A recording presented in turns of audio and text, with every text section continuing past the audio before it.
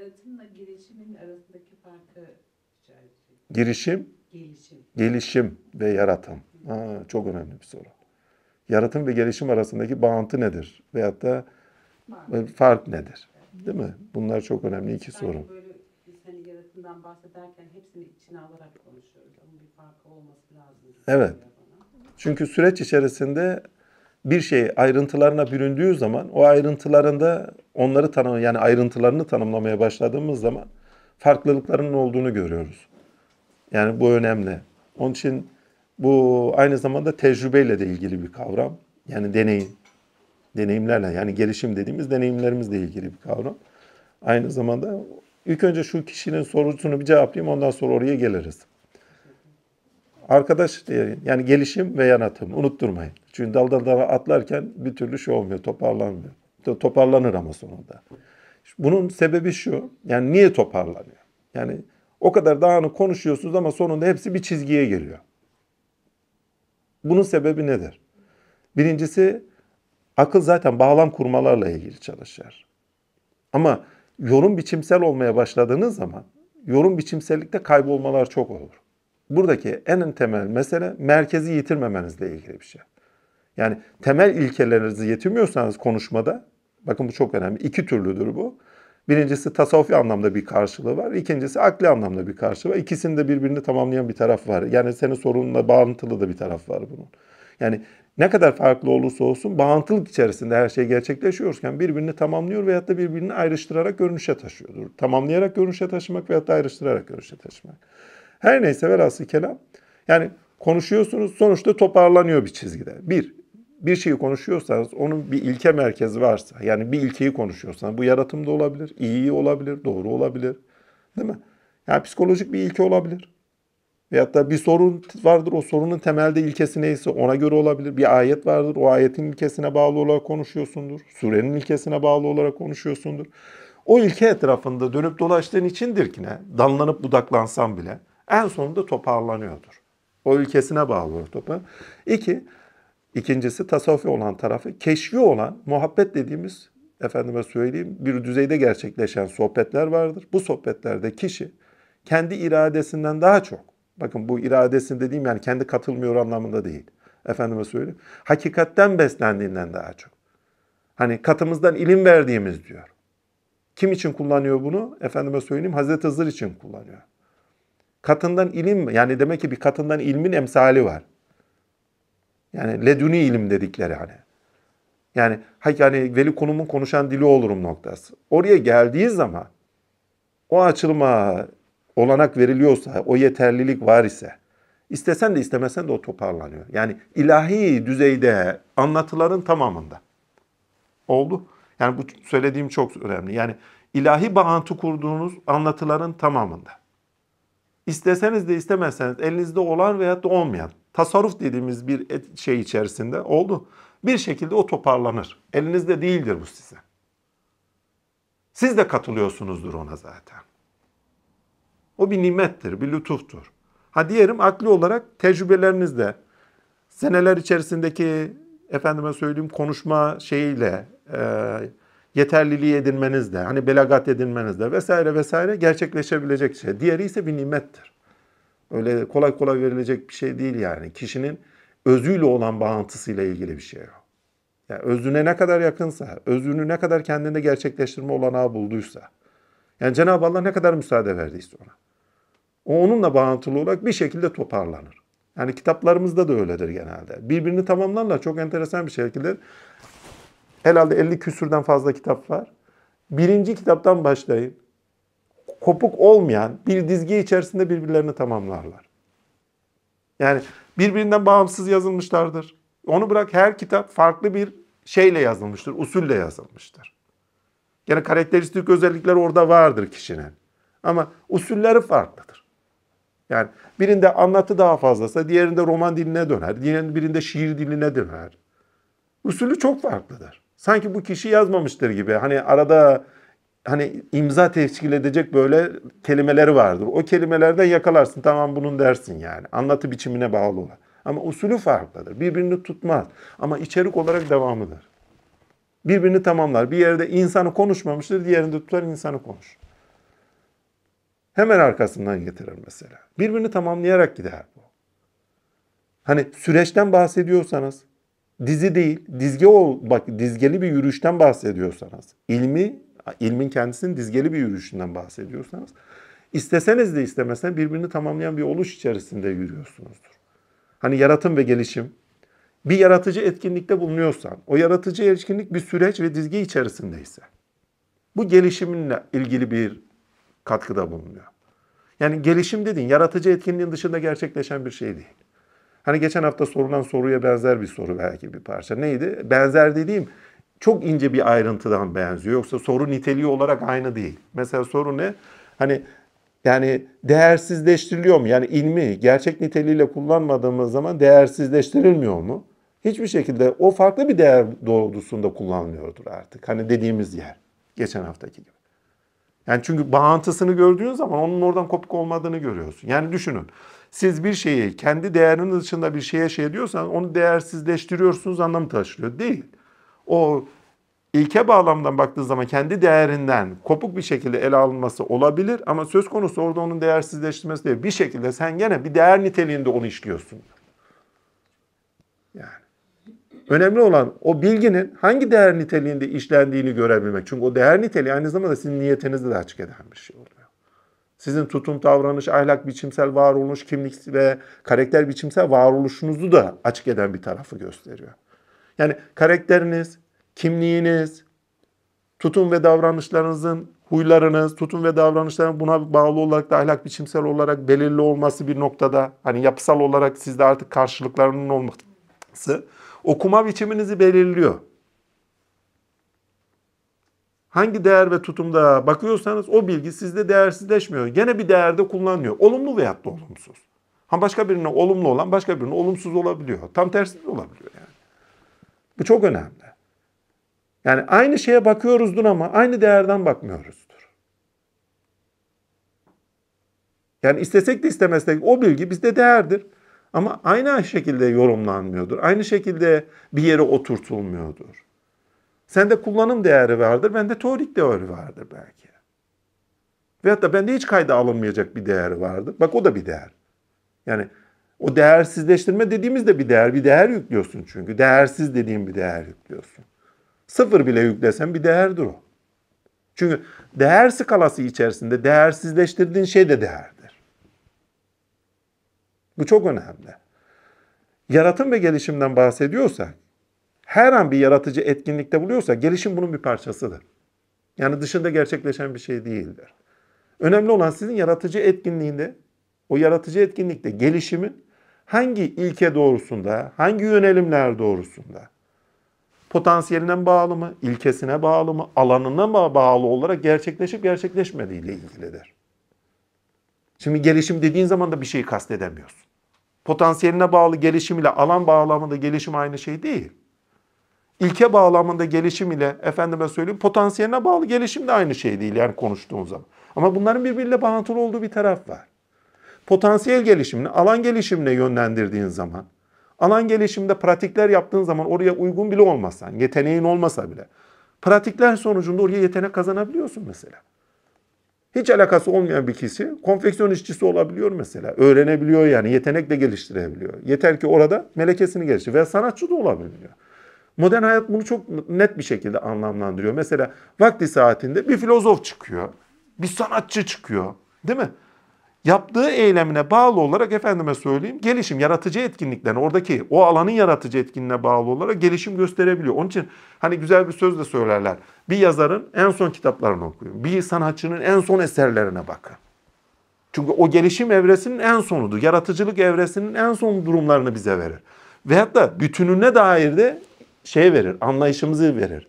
Ona dair ne konuşmamız gerektiğinin anlayışını verir. Veyahut da şundan sebebiyetle söylenebilir. Yani arkadaş bak burada farklı bir görüşte yaptığı şey burada farklı bir görüşe dönmüş. Yani onun sürecinde de takip etmek çok önemli. Bir düşünürse düşünürü. Yani o düşünmenin yaratıcı etkinliğinde ilk söylediği sözlerle son söylediği sözler aynı olmayabiliyor. E kendi gelişim sürecimize bakıyoruz. Her an gelişiyoruz. Bak bunu söylerken bir konuşurken bile gelişim süreci içindesin. Yani sözün, o düşüncenin yaratı etkinliğine katılıyorsun, katılmakla kalmıyorsun. Oradan gelen, efendime söyleyeyim bağlamlar, yorum biçimsel olan şeyler, hakikatle ilgili olan şeyler sende değilse bile ona sen ayak uydururken her öğrendiğinle beraber gelişiyorsun. Ve bakın gelişim, öğrenme beraberdir. Ama en önemli taraf şudur. Gelişim ve meleke edinmek. Yani bir şeyin gelişiminden bahsediyorsan birincisi onun meleke kazanımından bahsetmen lazım. Bununla da kalmayacaksın. Efendime söyleyeyim. O gelişimin genele yaygın kılınmasından bahsediyorsan onu yapsal kılmalısın. Modern hayat bunu getirdi mesela. Bu ikinci söylediğimi. Yani yetenek bağlamında gelişen insanlar var alanlarında vesaire. Numune çıkıyor ya. Yani bir Aristo numunedir. Numune çıkıyor. Gazali bir numunedir. Numune çıkar öyle. Hegel bir numunedir. Beğeniriz beğenmeyiz. Ben beğenmiyorum. Yani çok doğru şeyleri söylemese. Yani yöntem biçimsel olarak, anlam biçimsel olarak birçok şeyle yanlışı var çünkü. Ha oraya girmiyorum. Her neyse demek istediğime getireyim. Mesele beğenip beğenmememizle ilgili değil. Adam numune ama. Ya Picasso bir numunedir. Picasso gibi tutup da bir yetenek olarak bir şey çıkartamayabilirsin. Ama sen de resim yapabilirsin. Yani. Modern hayat bunu getirdi. Onun eğitimini veriyor çünkü. Az bir şey duyarlılığın varsa, hani şevkin varsa, elinde kırılabiliyorsa çizmeyeceğin resim yoktur senin de. Belki bir Picasso gibi çizemeyebilirsin ama sen de çizersin. Bak, gelişim. Bakın çok önemli. Hangi alanla ilgiliyse o. Yani bu şekilde kendini gelecek. Yani farz et ki bizim sebahatinde çizim yeteneği var. Doğuştan gelmiş. Ama ortamını da bulmadığı zaman sıkıntı. O çocuk eğer yeterli bir yere gitmiş olsaydı abisiyle vesaire değil mi? Kendisinin o yeterliliklerini geliştireceği bir alana gitmiş olsaydı eğitim olarak. Bak eğitim ve meleke. Doğuştan melekesiyle gelmiş. Bazıları doğuştan o melekeyle gelmiyor. Direkt kendine bak öyle hani ben şunu yapayım yapamıyorum. Mesela ben resim çizme kabiliyetim yok. Ama sebahatinin var mesela. Ne yapsın? O çocuk eğer efendime söylüyorum yetenek düzeyinde ele alınıp da bir yerlerde okuyup eğitimini görse bambaşka bir şey çıkar ondan.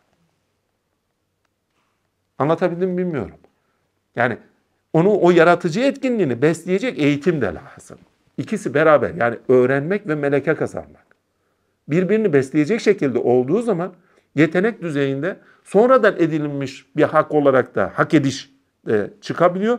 Doğuştan hak kılınmış bir yeter. Bakın doğuştan gelen hak kılınmış. Hak kılınmış ile hak ediş ayrı bir şey. Ama o hak kılınmış yerinde durmuyor. Kişinde o potansiyel akıyor, fışkırıyor. Kendini geliştirir o. Daha yüksek yerlere çıkartır. Picasso'nun ilk resimlerine bakın. Klasik resimlere taş çıkartır. Ama sonradan bir dönüyor bir bakıyorsun bambaşka bir dünyaya kapar alıyor. Değil mi? Leonardo da Vinci'ye bakın. Kullanım tekniklerine bakın. Yok o zamana kadar kullandığı şeyler. Yepyeni bir çığır açıyor. Yani bu sadece sanatla ilgili bir şey değil. Yani Max Pavel gibi kaç tane adam çıkacak? Newton gibi kaç tane adam çıkar? Düşünebiliyor musunuz? Yani yani akıl yetenek olarak çıkıyor ama ortamını bulmadığı zaman köreler. Yetenekler de köreler. Çünkü hayat sizde birçok meleke kazanmaya olanaklıkla birçok melekemiz ve meleke kazanmamıza olanaklıkla hayat koşulları doğusunda birçok melekemiz geriye gidebiliyor. O koşullar sizi hangi melekenizi kullanmaya zorluyorsa orada gelişmeye başlıyorsunuz. Karanlıkta çalışan bir kömürcünün gözüyle sizin gözünüz aynı görmez.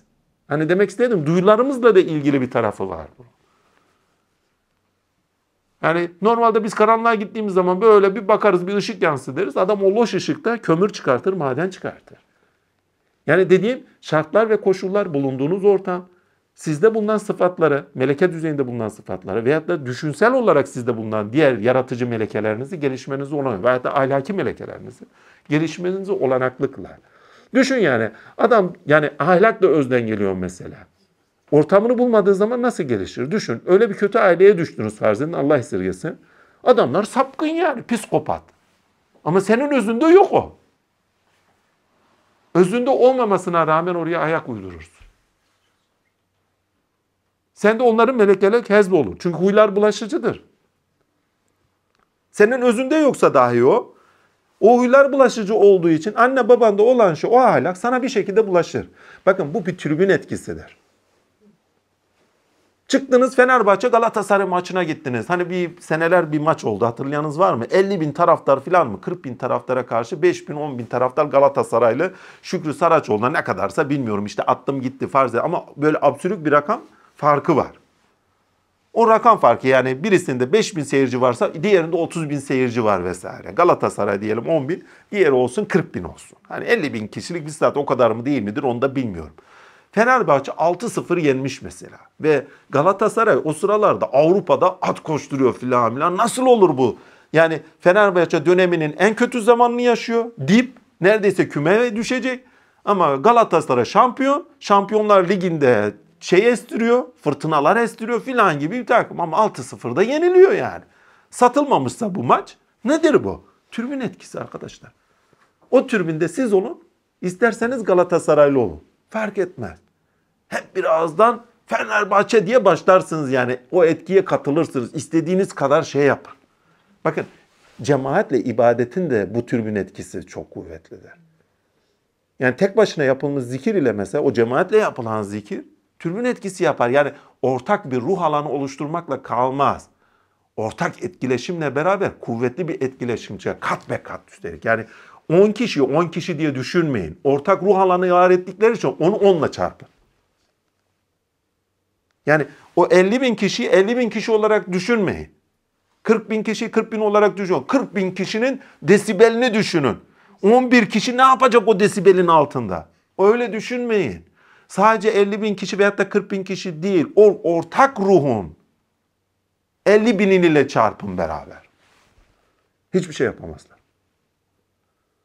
Diyor ki KGB ajanlarından bir tanesi herhalde not düşmüş. Diyor ki Hitler'in bu Berlin mitingi vardır. Berlin mitinginde şunu söylüyor.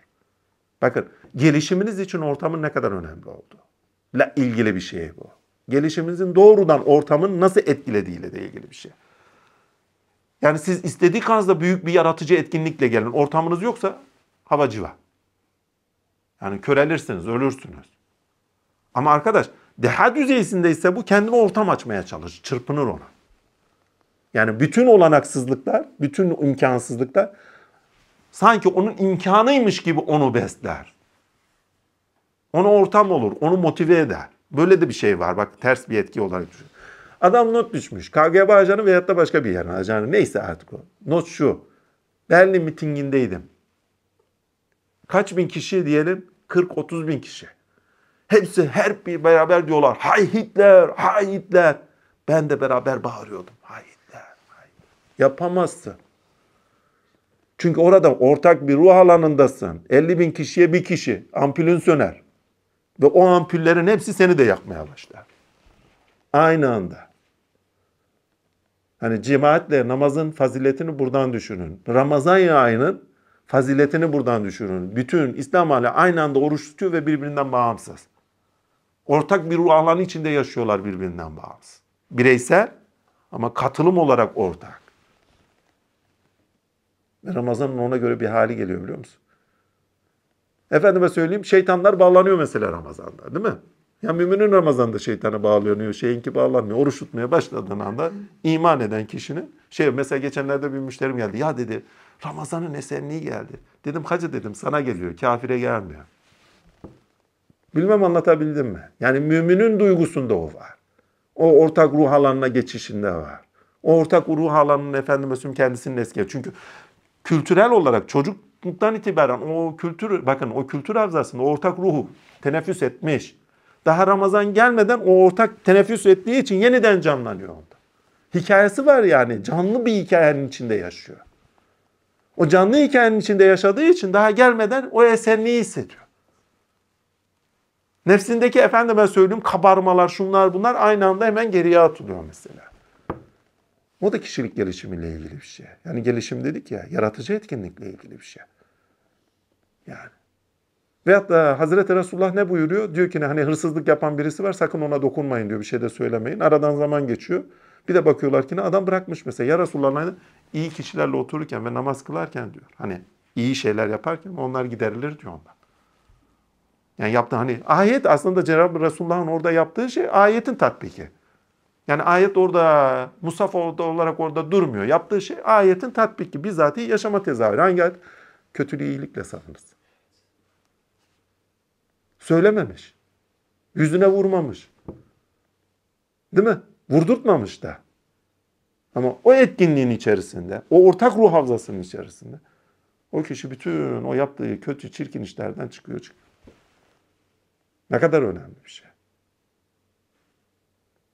Ha, gelişim. Yani sadece bir yetenek olarak çıkmanız önemli değil. Oldu. Veyahut da normal bir insan ya. Bulunduğu ortam onu şekiller, biçimler. İnsan ham geliyor bir şekilde. Evet, büyük bir potansiyelle geliyor, olanaklarla geliyor. Ama o olanaklar bir ağacın kereste gibi bir olanaktır. Birinin elinden mobilya olur, diğerinin elinden efendime söyleyeyim sanat eseri olur.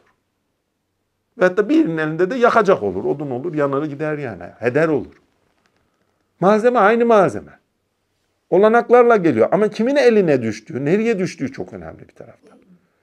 Ya en kral abi bu var ya bu ele geçmez bir odun. E tamam ele geçmez de ortamını bulmadığı zaman heder olur.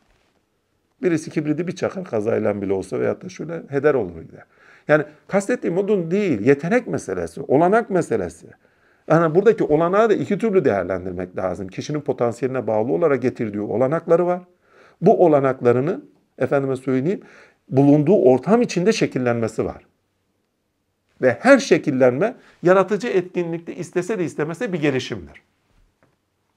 Lakin ona gelişim diyebilmemiz için başka bir şey daha var. Bir önceki aşamasına göre değişmiş olması lazım. Ve onun kendisine bağlı olarak o potansiyelinde olanın veyahut da toplum içerisinde olanın bir önceki seviyesine göre daha ileri bir seviyeye taşınmış olması lazım. Peki o seviyeyi nasıl belirleyeceğiz?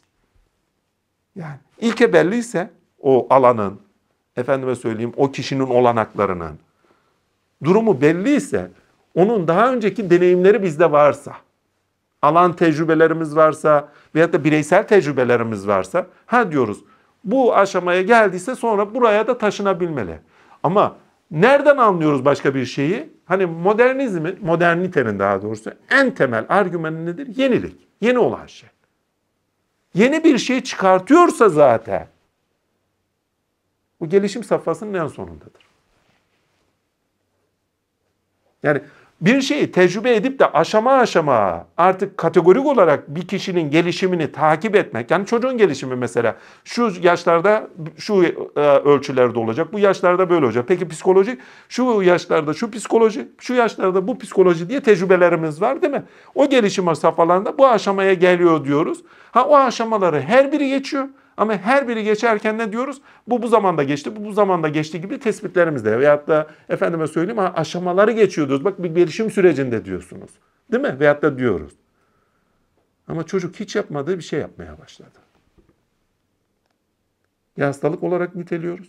Veyahut da hani gelişim safhalarının olağan geçemiyor. Geçemiyorunca geri yani kalıyor. Geri kalınca ha diyoruz burada bir sıkıntı var. Değil mi? Veyahut da gelişmiş safhalar çok hızlı geçiyor. Geçmekle kalmıyor. Özgün bir şekilde de yorumlayarak geçiyor orada. Değişik bir şekilde. Ha diyorsun burada başka bir şey var. Yani burada iki şeye dikkat edin. Gelişim bir süreç. Sürecin her bir aşamasından herkes geçiyor. Geçmekle de kalmıyor. O geçmekle kalmıyor. Kendini yeniden yeni bir şekilde taşıyabiliyor. Oluşa taşıyabiliyorsa orada bir deha çıkıyor, yetenek çıkıyor anlamını taşıyor. Ama buradaki en önemli şey süreç beliriminden geçerken bunu anca anlayabiliyoruz. Yani geri kaldığını da insanın, ileriye doğru gittiğini de insanın, yani farklı olduğunda insanın oradaki gelişim sürecindeki efendime söyleyeyim aşamalardan nasıl geçtiğine bağlı olarak görürüz. Ha o insanın bir daha söyleyeyim gelişimini bulunduğu ortam şekillendiriyor, çevre şekillendiriyor, eğitim şekillendiriyor, eğitim ve meleke kazanmak mesela şekillendiriyor. Yani burada pratik. Hem siz bir karitacıyı düşünün ya. 10 bin saat pratik yapman ile 20 bin saat pratik yapman arasındaki farkı çırak ve ustalık olarak değerlendiriyor. Meleke kazanmayı konuşuyor çünkü orada. Yani sen karate yapmayı öğrenmen ayrı bir şey. Onu meleke olarak içselleştirip, derinliğini içselleştirip, yeniden yorumlandan da farklı bir şey. Çünkü sen artık oyun oynar gibi, efendime söyleyeyim 10 bin saatte oyun oynar gibi yaptığın şeyi 20 bin saatte yeni bir yere taşımıyorsan usta değilsin yani. 20 bin saatlik, saatlik efendim çalışan olmuş oluyorsun. Ama oynarken taşırsınız. Oyun oynamak öyle sıradan bir şey değil. Oyun oynatmak, yaratmakla ilgili bir şey. Çocuk yaratır orada. Hiç takip ettiniz mi oyun oynayan çocuklar? Yaratıyorlar ya kendilerinden. Oyuncu yaratıyor. Efendime söyleyeyim canavar yaratıyor. Mekan alan açıyor. Küçücük oda adama dünya oluyor. O yaratım etkinliği içinde oynadığı şeyler özgün bir şekilde kendini ifade etme alanı olarak, olarak buluyor. Ve o alan alanına fazla da dokunmamak lazım. Ha sizin alanınıza doğru geldiği zaman bak gelişim, ahlaki gelişim. O da lazım. Bak yaratıcı etkinlik lazım ama bak oğlum senin alanın orası bak burayı da kirletme. Bak burası da alan. Yani onları da göstermek lazım ki o ahlaki gelişiminden bağımsız olmasın. Yani gelişim dediğin zaman sadece bir alanda gelişim de anlaşılmamalı. İnsan çok yönlü bir olduğu içindir ki ne? Diğer alanları boş bıraktığın zaman adam bir daha olarak oradan çıkar ama çiğ birisi çıkar. Adam olmaz ayrı bir mevzu. Sanatçı olur, filozof olur ama adam olmaz. Hayvan olur yani. İstediği kadar deha olsun. Yukarıdan bakan bir hayvan olur yani. Başka ne olur ki? Yani. Ve bu şekilde bakan kaç kişi var yeryüzünde? Adam deha düzeyinde piyano çalıyor. Ama kendi halkına döndüğü zaman oryantalist bakıyor. Adam deha düzeyinde resim yapıyor. Halkına geri döndüğü zaman efendim hayvan diye bakıyor. Ya bunlardan bir şey çıkmıyor. İndin mi? El uzattın mı? Modern hayatın en güzeli eğitim. O eğitime girip de sen bir şey öğrettin mi? Hani sendeki o yeteneği paylaşabildin mi? Zekatını verebiliyor musun anlamında? Paylaşabildin mi? Senin o hayvan dediklerin içerisinde ne yetenekler var? Birine ulaşabildin mi? Ulaşabilecek bir şey yapabildin mi? İyi yok. O zaman hayvan sensin. Geldiğin o toplumun içine inemiyorsun. Yeteneğini çarçur ediyorsun. Onun için gelişim dediğin zaman tek bir aşamayla, tek bir olguyla da ilgili bir şeyden bahsetmiyoruz. Gelişim dediğin zaman çok yönlü olması gereken bir şey. Adam deha, bilim dehası. Asosyal. Gerizekalının teki demektir o. Abi böylemiş. Mesela neymiş? Bakın bu çok önemli bir şey ya. Öyle kaba anlattığım şey ne kadar önemli. Adamın efendime söyleyeyim gardırobunda 10 tane elbise varmış. Niye zaman kaybetmemek için? Ulan düşünemiyor demek. Aptalın teki demek o. 10 tane elbisesi olan aptalın teki demektir. Daha değil o. Bunun sebebi ne? Kendisini çeşitlikten mahrum eden, kendisini çeşitli varoluşun kendisine mahrum eden adamın dehalı olmak zaten. Halkın içine inemiyor demektir. Demek ki o düşünemiyor. Ya düşünün gardırobunuzda 10 tane eşyanız varsa siz düşünemiyorsunuz demektir ya. Neyse artık o. Düşünemiyorsunuz demektir. Çeşitliliğe dalamıyorsunuz demektir. Tek düze bakıyorsunuz. At gözlüğüyle sadece bir şey düşünüyorsunuz. E bir şey de ben seneler boyunca 20 sene boyunca düşünsem elbette orada yeni bir şey çıkartırım herhalde. Anlatabildim mi bilmiyorum. Bunlar bu kadar önemli. Eviniz zengin olsun. Çeşitlilikte düşünün. Çeşitlilikte gelişin. Birbirini besler ve daha yetkin bir şekilde düşünme olanağınızı yaratıcı olanağı bulursunuz. Yani sadece bir alanda veyahut da bir şey üzerine düşünmek, yaratıcı etkinlik düşünmektir bak. Düşünmekle ilgili. Efendim işte benim yaratıcı etkinliğim var. Bir transa giriyorum, bir resim yapıyorum. E yapıyorsun da sen de hızlı dönen, melekelerinde dönen, kuvvede dönen düşünce etkinliğinden haberin yok. Sadece ona katılıyorsun bilmeyerek. Gayri irade olarak yapıyorsun. Yetenek orada çıkıyor. Gayri irade olarak yapıyorsun. Orada gene bir düşünce var arkasında. Sen onun hızını bilmiyorsun. Bir düşünce bağlantısında çıkıyor senin o yetenek. Haberin yok. Hani eş zamanlı hareket ettiğin ona uyumlu hareket pardon ona uyumlu bir şekilde katıldığın için farkında değilsin. Hani gelişim ve yaratım birbirinden kopmaz iki parça bunlar. Bağıntılığından baktığın zaman ama gelişimi öyle bir geniş alan ki yani yaratım da o kadar geniş bir alan ki her aşamasında gelişimle ilgili bir şeylerini görüyorsun ama gelişim dediğim gibi o yaratıcı etkinliğin kendisinde potansiyellerinize bağlı olarak, alana bağlı olarak, sizin işlemenize bağlı olarak değişebilecek bir şey. Ve tek yönlü olmaması gereken bir şey. Çok yönlü olmalı ki birbirinden beslenip yeni şeylere de kapı arayabilirsiniz. Düşünün yani Adam sadece dediğim gibi tek bir alanda bilimde düşünüyor veyahut da tek bir alanda, tek bir alan ne olsun? Sanat felsefesi olsun. Adam bütün dünyası o. Bütün bağıntıları o. Hani bilimsel noktada yani bilim felsefesinden haberi olmamış olsun. Hani kısmi olarak olmuş olsun. Uzmanlık alanında sanatta böyle sanat felsefesinde çok uzman. Yani bir resime baktığı zaman herhalde size söylemeyeceği, saatlerce söylemeyeceği şey yoktur herhalde. O kadar işte onun dünyası. Ha, o dünyanın içinde farklı bir gelişme de beklemeyin. Kendini öldürmüştür orada zaten. Belki o sanat, bak sanata hiç yeteneği bile yoktur onun. Orada tanık olduğunuz akli yeterliliğindeki gelişimdir ama. Ama sanat alanında olmuş. Peki bilim felsefesi var mı? Hukuk felsefesi var mı? Ya insansınız ya, çok yönlüsünüz, halifetullahsınız. Cenab-ı Allah çok yönlü bir varlıktır. Allah'ı tanımanıza imkan yok öyle. Hani gelişimin ilkesi ne? Hak'tan geldiğiniz Hakk'a dönecekseniz ve haksa sanatın bir perspektifinde kalmıyorum kardeş ya. Sadece bilimin bir perspektifinde kalmıyor. Bak geçen haftaki sohbet çok önemliydi bu bağlamda. Yine aynı konuyla bağlantılı olarak. Neydi? Perspektif meselesi. Yani yanlış doğrular elbet vardır ama mesele yanlış doğru değil de perspektif meselesi ise bir perspektiften bakamazsınız. Anlayamazsınız hakikati. Düşünün ya. Sadece şeyi sanat felsefesi yapıyorsun. Lan ne kadar hakikatten haberin olur senin. Öznel anlamda hakikatin insanda nasıl tezahüründe evet, tezahür bulduğuna dair belki bir görüşün olabilir en sonunda. Aa dersin abi böyle bir şeyle karşı karşıya kaldım. Bak bir de yeteneksen sanatçılığa yeteneğin varsa onun farkına varırsa. Hani sende bir taşma olur da ona ayak uydurursun. Ya benden değil kardeş ya birden geldi bu ilham dersin. O sıradaki o şeyle beraber sen besleniyorsundur. Fark edersin onu. Senden çıkanla gelişiyorsundur. Yeni bir pencere açıyorsundur ve onun farkına varırsın. Ama o senden taşıyordur. Özünden geliyordur. Katımızdan ilim verdiklerimizin en güzel tezahürlerinden bir tanesi sanat alanıdır. Oradan çıkıyordur. Şiir, yani sanat deyince resim mesim sahi değil. Şiirden tutun. Ya bizim Anadolu nefesleri ya. Azim Allah ya. Allah'ın selam üzerlerine olsun ya. Aşk Fesat Şatıroğlu bir yer mi okudu arkadaşlar? Ruhusu diyor ki ne en iyi türkü yorumlayan benim falan gibi bir espri patlatıyor bir şekilde bir yerde. Buna benzer bir hikaye anlatır. Aşık Vesi Satıroğlu'na diyorlar ki ne ruhusu böyle söyledi. Diyor ki dağda yetişmiş çiğdemin kokusuyla diyor. Serada yetişmişin kokusu aynı olur mu? Aynı özü verir mi? Yani yetenek. Ama hangi yetenek? O bulunduğu çevre, tarih, kültür neyse hepsine kendi özünde bir şekilde yeniden yorumlayan yetenek. Şimdi Aşık Veysel Şatıroğlu bizim Anadolu şeylerde bakın milat değil tepedir. Aşık Mahsunuf Şerif'te vardır, Kemter dedeleri de vardır, oyu da vardır, buyu da vardır ama tepedir.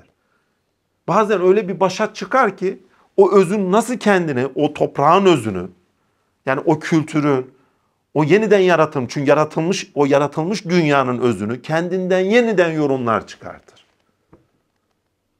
O yorumlar, bak o yorumlayan insan gelişimin en son safhasıdır o alanın. Onunkini duyduğun anda durursun yani. Diğeri söyler, ha, tamam. Ama o söylediği zaman durursun orada. O gelişimin son safhası seni içine katar, seni alır, seni koparır bulunduğun yerden. Ve seni de kendine katar. Yani gelişim sadece bir şeyin, kişinin, şunun bunun gelişimi değil. O katlığıyla beraber neyse bütün alemi değiştirir, geliştirmeye başlar. Onun için bizim başatlara ihtiyacımız vardır her zaman tarih olgusal olarak. Aristolara, Platonlara hep ihtiyacımız oldu. Tek çıkıyorlar bunlar. Bir tane iki tane. Hazreti Muhammed Mustafa'ya. Başattır ya. Tepe noktadır. Güzel ahlakı tamamlamaya geldim diyor mesela. Başattır. Gelişimin en son evrelerindendir. Hazreti İsa'ya gelişimin en son evrelerindedir kendi alanında. Hangi sıfatı olanağı ise kendisi o olanak en yüksek nezahada çıkıyor. Prototipi o. Ondan sonra gelenler onunla beslenmiş olarak çıkıyor. Ve hayatı değiştiriyorlar. Akışı yani normal rutin bir akış var. Gitti güme. Onlar geldiği zaman her şey gider güme. Yani daha düzeydeki gelişimden bahsediyorsak yeni bir şeyin oluşundan bahsediyoruzdur. Hani diyor ya cancağızım dün dünde kaldı cancağızım bugün yeni şeyler söylemek lazım. Öyle de olmuyor işte. Yeni şeyler söylemek lazım demek de olmuyor. O gelişimin içerisinde olmakla ilgili bir şey. Yetenekle ilgili bir şey. O konjektörün müsait olmasıyla ilgili bir şey. Ya biraz gene Aşık Veysel Şatıroğlu'na 70'lerin dünyasının ruh halinin en yüksek düzeyde vurgusudur. Ama bir kültür o 70'lerin ruh dünyasında başka bir şeye dönüyor. O ortamın içinden çıkabiliyor. Yani Mevlana bulunduğu dünyanın gelişimi içerisindeki dünyadan anca çıkabiliyor. Burada bugün Mevlana çıkmaz. O romantizm çıkmaz. Yani usçuluğun bu kadar baskın olduğu yerde. Usçuluk dediğim lan usçuluk nerede kalır? Nerede oradan? Eğitim sisteminin tamamı öğrenmeye daim olarak usçulukla ilgilidir yani. Halen Augusto Comte'lar pozitivist. O usçunun takipçisidir. Empirisyenler efendime söyleyeyim hani geçen hafta dedi Kume çizgisindeki empirisyenler. Efendime söyleyeyim Kant çizgisindeki usçuluk. Efendim Augusto Comte çizgisindeki pozitivizm. Halen onun çizgisinden o dünyadan kim kurtuluyor? Halen etkileri devam ediyor. Yerlerini göstermediğiniz sürece olmaz. Kurtulmanız olmaz. Eksiklerini, yerlerini, eleştirel tutumunu göstermediğin sürece o dünyadan kurtuluşunuz olmaz. Ama bireysel anlamda kurtuluş bir şey ifade etmiyor. Onların eksiklerini gösterdiğiniz anda o gösterdiğiniz eksiklere bağlı olarak yeni şey söyleyip de onu yapısal olarak siyasi alanda, eğitim alanda karşılığı yoksa hiçbir şekilde hayata genele nüfus edemiyorsunuz. Eğitim ve siyaset. Yeni şeyin hayat bulduğu iki yerdir. Genele yaygın olarak kültür, bakın kültür ve medeniyet kapısını aralayan iki şeydir bu. Bu ne kadar önemli bir şey. Aşık Veysel Şatıroğlu, Aşık Veysel Şatıroğlu olarak kaldı. Başka yok. Eğitim sistemimizde karşılığı var mı bunun? Bilmem anlatabildim. Ya Ankara'dan içeriye almıyorlar Kızıl Meydan'la. Siyasette de karşılıyor. Kendi zamanında ödül verilecek. Neymiş? Köylü giremiyor. Kızılay'a giremiyor. Acı. Nasıl bir acı? Ha. Önce insan. Önce insan diyene insan muamelesi yapmıyoruz. Yani Allah'ın selamı üzerlerine olsun, nimetler üzerimizden eksik olmasın. Mesele burada ne? Bulunduğunuz ortam, bulunduğunuz ortam sizi aidiyet olarak ne kadar sahiplendiği, sahiplenmediği. Sahiplenmemesi bile motive edici bir şeydir bak. Yani İbrahim gibi mesela. Bir deha çıkıyor, başa çıkıyor mesela. Allah dehasını övüyor onun ya. Ne büyük hüccet verdi diyor. Ayeti biliyor musun? Onun dehasının övülmesiyle ilgili bir şeydir. Hani Firavun'a diyor ya, pardon Nemrut'a. Ne diyor? Bazen ya böyle dillerim sürçüyor ya o kadarını idare edin artık.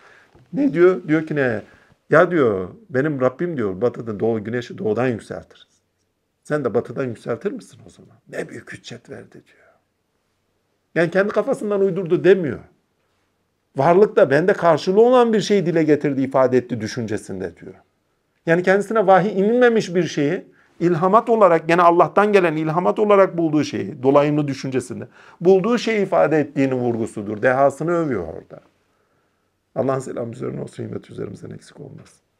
Yani gelişim, bulunduğunuz ortam sizi eğer ofluyup pufluyorsa pek de olanaklı görükmüyor gibi geliyor. Deha bile olsan seni öldürebilir belki. Yani dehaların genelde topluma en çok katkıda bulunduğu, artı değer oluşturduğu yer hep eleştirel taraflarıdır. Kendilerinin eleştirel değil, kendilerinin olumsuzlandığı taraftır. Olumsuzlandıkları yerden kendilerini yeniden üretme olanağı buluyorlar. Eksiklerini görüp oradan yürüyüp yine kendilerini geliştiriyorlar.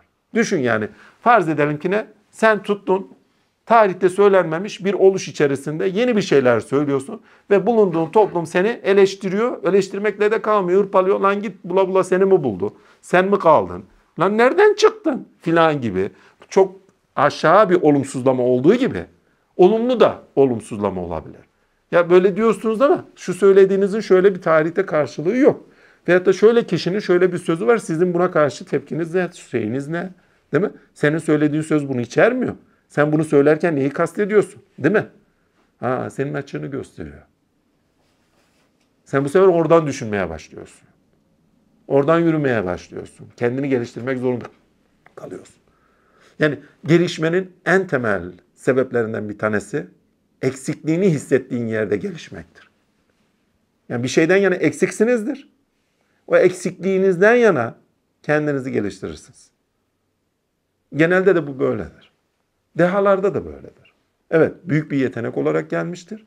Bulunduğu toplumdan çok aykırı bir şekilde efendime söyleyeyim sıyrılabiliyordur. Yani onların putu, gölgesi demeyeyim, uykusunda değildir. Çünkü rutinler uyutur. Kültür dediğimiz aynı zamanda rutinlerdir. Rutinler uyutur. İbrahim'in yaptığı oydu. Rutinleri bozmakta. Hani tapınmaya gidiyorlar filan filan. Dur diyor ben bu rutini bozayım. Bir güzel kırıyor. Ondan sonra en büyüğünü hani sağ bırakıyor. Hani sağ diyorum. Kırmıyor. Ondan sonra da diyor olsa olsa budur herhalde. Keşke ondan önce şöyle demeseydi. Hani evladı Yakup gibi öngörüyü o sırada ama genç. Daha toyluk var. Yani delikanlılık var. Cenab-ı Allah Fettah diye zikrediyor kendisine. Ne diyor? Diyor ki ne? Elbet diyor ben sizin diyor şeylerinize bir zeval getireceğim. İçimizden birisi demişti ki ne böyle. Ha bu İbrahim'dir. Keşke onu demeyeydi de öyle olaydı. Değil mi? Hani orada o toyluğu görebiliyorsun. Fetallığı, delikanlılığı görebiliyorsun. Yani Yakup'un o öngörülü tarafı hikmete dair öngörü. Yani sebep sonuç ilişkisini nefsi emareyi okuyuşu daha orada yok. Değil mi? Görmüş olsaydı demezdi. Gider yıkardı ondan sonra gelirdi. Aa bu mu yıktı acaba der. Dalga geçerdi bir de. Anlatabildim mi bilmiyorum. Müsteşem bir hikayedir o. Yani hangi yerden baktığın çok önemli. Gelişim, eğitim ve meleke edinimiyle çok önemli yakından ilişkili. Bununla da kalmıyor. Bulunduğunuz ortamla çok ilişkili. Bununla da kalmıyor. Bunun örneklerini çoğaltabiliriz. Yani emin ol saatlerce çoğaltır. Bununla da kalmıyor. Sizin eğer bir artı değer olarak gelişime bir katkınız varsa hani gelişimi nereden bileceksiniz? Süreç deneyimlerimiz oluyor. O süreç deneyimimizde gelişip gelişmediğini anlayabiliyoruz. Bu felsefe dünyasında da böyle. Mesela bir şey söylüyorsun. Literatürde karşılığı var mı yok mu? Veyahut da efendime söyleyeyim kişi öyle bir şey hani bunu biraz daha basite de indirgeyerek söyleyeceğim de unutmamak adına söyleyeyim. Yani o kişinin tarihsel süreçte eğer kategorik bir gelişim evreleri varsa o evrelerin nerede olduğunu çok iyi görebiliyorsun. Mesela adamın biri yeni bir icat yaptı. Bakıyorsun ha diyorsun halen kullanılabilir dünyada. Veyahut da teorik bir şeyler söylüyor. Ha diyorsun teorik bilim yapıyor hala. Evresi bu diyorsun. Ama töze bağlı olarak yeniden üretim yaptığı bir şey çıkartıyor. Ha diyorsun bu tamam. Kapı aralanmış kimsenin haberi yok. Töze bağlı olarak yeniden üretim yapıyor. Yaratıma geçiyor hiç haberi yok diyorum. Evrelerini görüyorsun. Niye? Teorik bilme, bilimin teorik o tarafıyla bilme değil mi? Dünyayı tanıma tarafı. Bildiğiyle kullanılabilir bir dünyaya kapı aralama tarafı. Ama teze bağlı olarak yeniden yaratım. Değil mi? Klasik sanat. Klasik sanatta ne yapılıyordu? Değil mi? Modern sanat, postmodern sanat. Nedir böyle evrelendirdiğimiz? Oradan baktığın zaman bir sanatçı ha diyorsun bu evrede. Değil mi? Gibi. Veyahut da felsefe.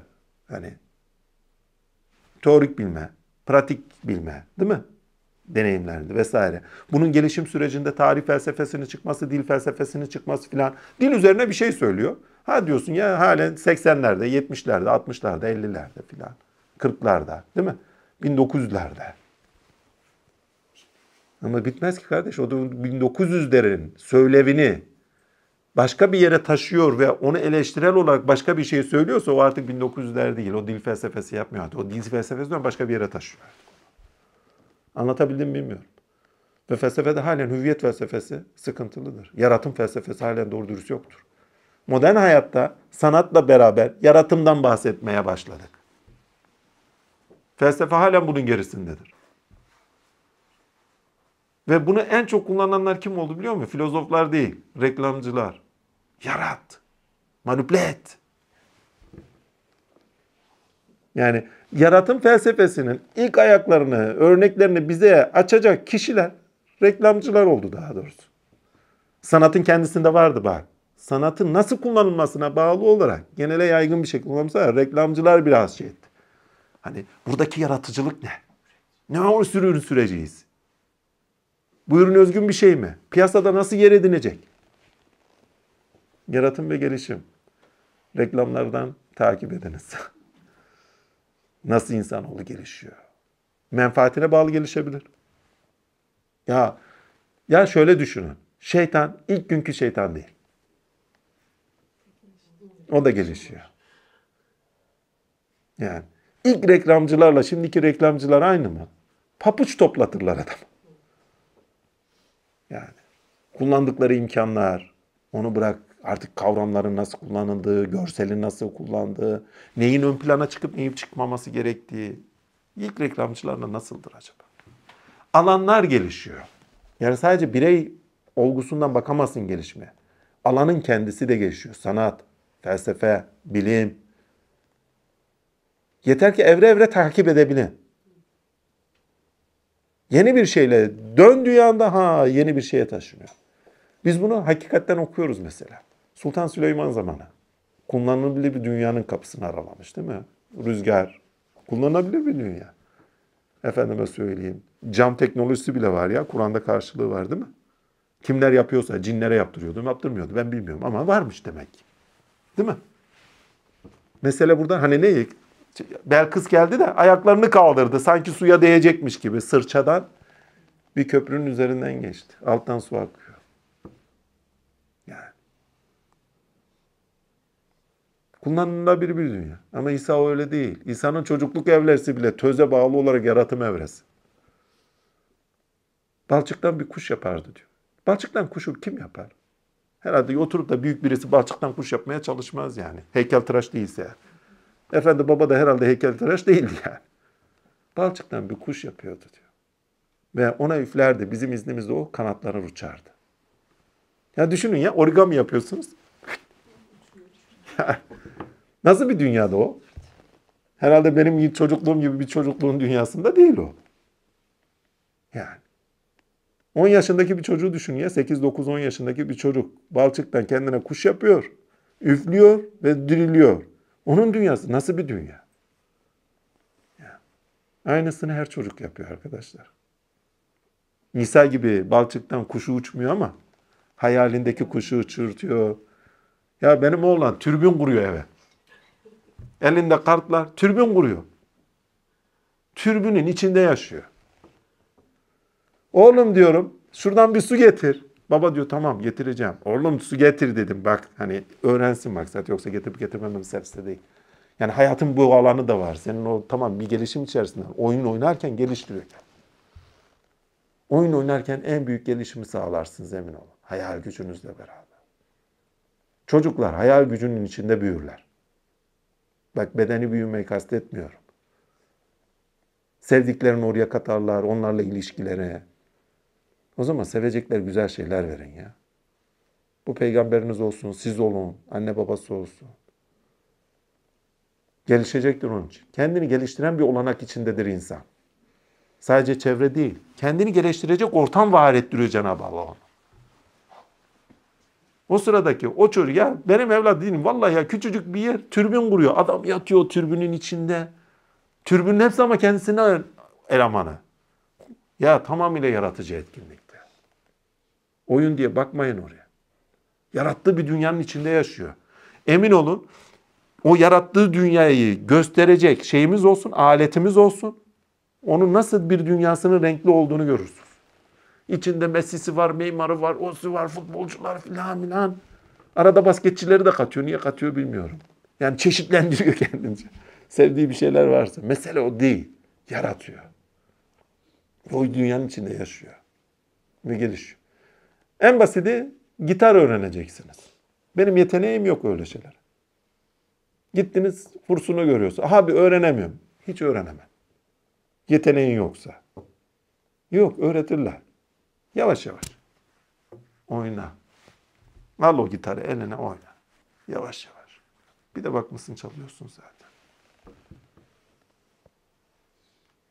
Özünden bağlı olduğunuz şeyin ortamındaysanız size o bilgisi geliyor zaten. Şevkiniz de var. Ne kadar şevkiniz varsa bilgi işlem o kadar hızlıdır ve gerileşiktir. Yapısal kılınır aynı anda. Yani duygu bağı ne kadar kuvvetliyse gelişimde, bak bu gelişim ve duygu bağı çok önemlidir.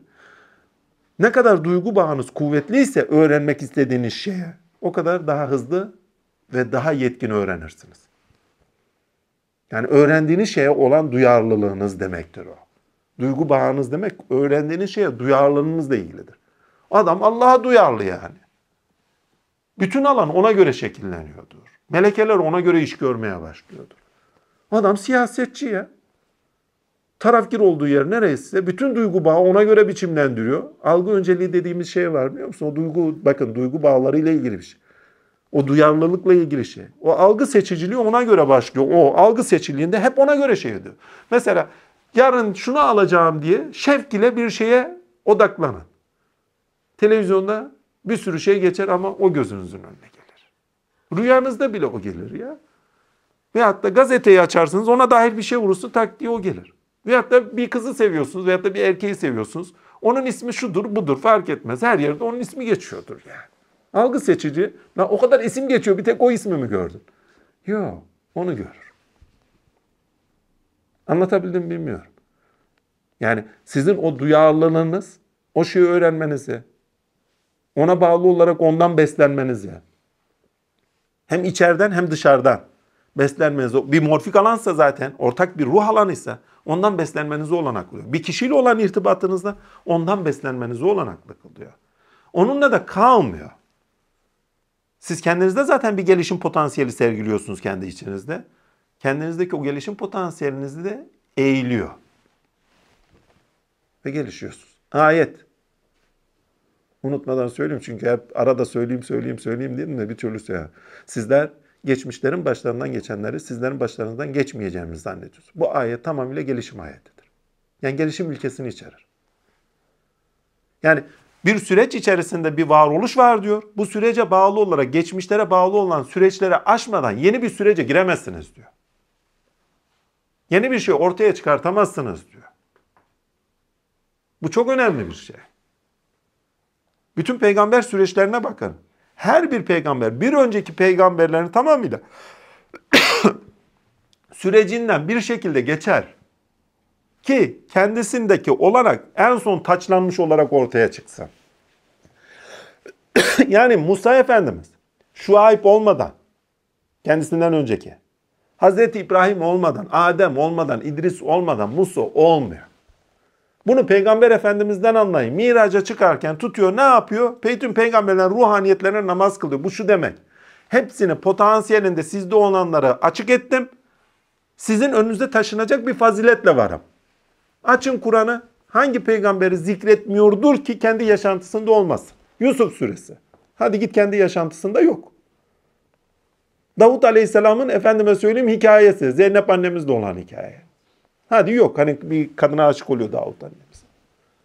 Vardır. Yusuf'ta ne varsa yaşamıştır bir şekilde. Karakterize edilecek bir şekilde. Yani yeniden yorumlanmış bir şekilde vardır. Davut ne yaşadıysa vardır. Yusuf, ha Yakup ne yaşadıysa o vardır. İbrahim ne yaşadıysa vardır yaşansın. İsa ne yaşarsa vardır. Abi abi o Musa'nın ama şey mucizesini göstermedi. Ya mucize değil, karakter biçimsel olarak o yaşantısında tezahür ediyor. Daha farklı bir yerden geleyim buradan. Hazreti Peygamber'in bir hadis-i şerif vardır. Diyor ki ne benim ümmetimin evliyası ben İsrail peygamberleri gibidir. Yani gelişim sürecinde diyor o peygamberat sürecine kendilerine katarlar. Yeni bir kombinasyon dilim düştü. Kombinasyon neyse ya işte he, tamam kombinasyon ha. Kombinasyonda ortaya çıkartırlar. Ya en basiti şöyle anlatmıştım size. Bir düşünce etkinliği içerisinde tarih olgusal olarak da düşüncenin evreleri var mesela. Tasof'ta düşünce evreleri var. Hani vahdedi vücutlar vesaire. Bir ekol olarak sadece çıkmıyor. Evre oluyorlar onlar. Efendinin ilk yanına gittiğim sıralar düşünüyorum. Var mıyım, yok muyum, şu mudur, bu mudur? Allah varsa bunlar nasıl var? Allah varsa her şeyin üzerinde o zaman bunlar yok. Ne Muhittin Arabi okumuşum, ne ona uğramışım, ne buna uğramışım. Yani kör kütük cahil yani. Tasavvufun cahili. Abdülkadir Geylani diyor ben üngür üngür ağlıyorum. Sebep ne? Abdülkadir Geylani'yi sevdiğimden dolayı değil. Pirimi sevdiğimden dolayı değil. Pirime selam olsun. Adını bilmiyorum. Daha önce duymamışım. Ben bu ismi nasıl hatırlarım diye ağlıyorum. Anlatabiliyor muyum bilmiyorum. Hayır, öyle bir oluşun içerisinde sen ama nitelikli bir şekilde bir şeyler düşünüyorsun. Ha önüne birileri geliyor. Vahdet vücut diye bir şey var. Bak bu düşüncelerin hepsi burada var mı zaten? Aa bir bakıyorsun efendi uyarıyor. Oğlum bak diyor eğer yoksun yoksun yani hep Allah var filan ama bak tık bir sıkıyor. Şöyle bir sıktı bir baktım canım az bir şey şey oluyor. Ha bak varsın hemen. Bu nasıl oluyor? Var yok da neye göre var yok? Hangi referanslara göre var yok? Bu yok kavramın içeriğini nasıl dolduracaksın? Başka bir şekilde bak. O sıkmasa yeni bir evreye taşınamıyorsun. Vahdet vücudun o kör cephesinden at gözlüğüyle bakmaya devam ediyorsun. Her şey o. O zaman hiçbir şey anlamlandırma, ayrıntılarına girme. Ne gerek var ki? Bilmem anlatabildim mi? Velayet kör bakar bir yerde. Bütüncül bakar. İşin ayrıntısına giremez. Anlatabildim mi bilmiyorum. O sıkma, hani şöyle, bak varsın sıkması. Mürşit, bir varsın sıkması. Yani sadece düşün, bak bir düşünür olarak var olman önemli değil. Sağlam bir ele düşmen de çok önemli. Onun o uyarısı seni bambaşka bir dünyaya taşıyor. Yeniden değerlendirmeye taşıyor. O eleştirel bakış seni yeniden kendini üretmene sevk ediyor. En az bir ay, iki ay o düşüncenin içindeydim ya. Hiç çıkmıyordum ha Allah bile hoştu da. Böyleydi, şöyleydi, şöyleydi, şöyleydi. Bütüncüler. Aynılaştıran bir düşünce. Ama bir sıkma, bir eleştirel tutum seni bambaşka bir dünyadan bakmana sebep veriyor. O çocukluktan, o çocuksu düşünceden kurtarıyor. Yeniden değerlendirme sefer. Bu sefer o düşündüğün şeyleri bu sefer kavramlaştırmaya çalışıyorsun. Diyorsun ya be tamam bunların keşiflerim var, düşüncelerim var. Aa bunlar da yerli yerince oturuyor ama bunları nasıl anlatacağım? Anlatamamak gibi bir sorun çıkıyor. Bu sefer onları kavramlaştırmaya başlıyorsun yavaş yavaş. Elinde değil. Çünkü literatürde karşılığı yok düşündüğün şeyin. Arıyorsun arıyorsun bulamıyor. Hepsi aynı şeyi anlatıyor çünkü. Birbirinin taklidi. Şer düşmüş aynı şey. Şer düşmüş aynı şey. Kavramlaştırmak zorunda kalıyorsun. Kavramlaştırdıkça yeniden göstermek zorunda kalıyorsun. Veyahut da eskiden bir kavram varsa diyorsun sadece bu açıdan bakmışlar ama bu açıyı anlatmıyor ki sadece bu diyorsun.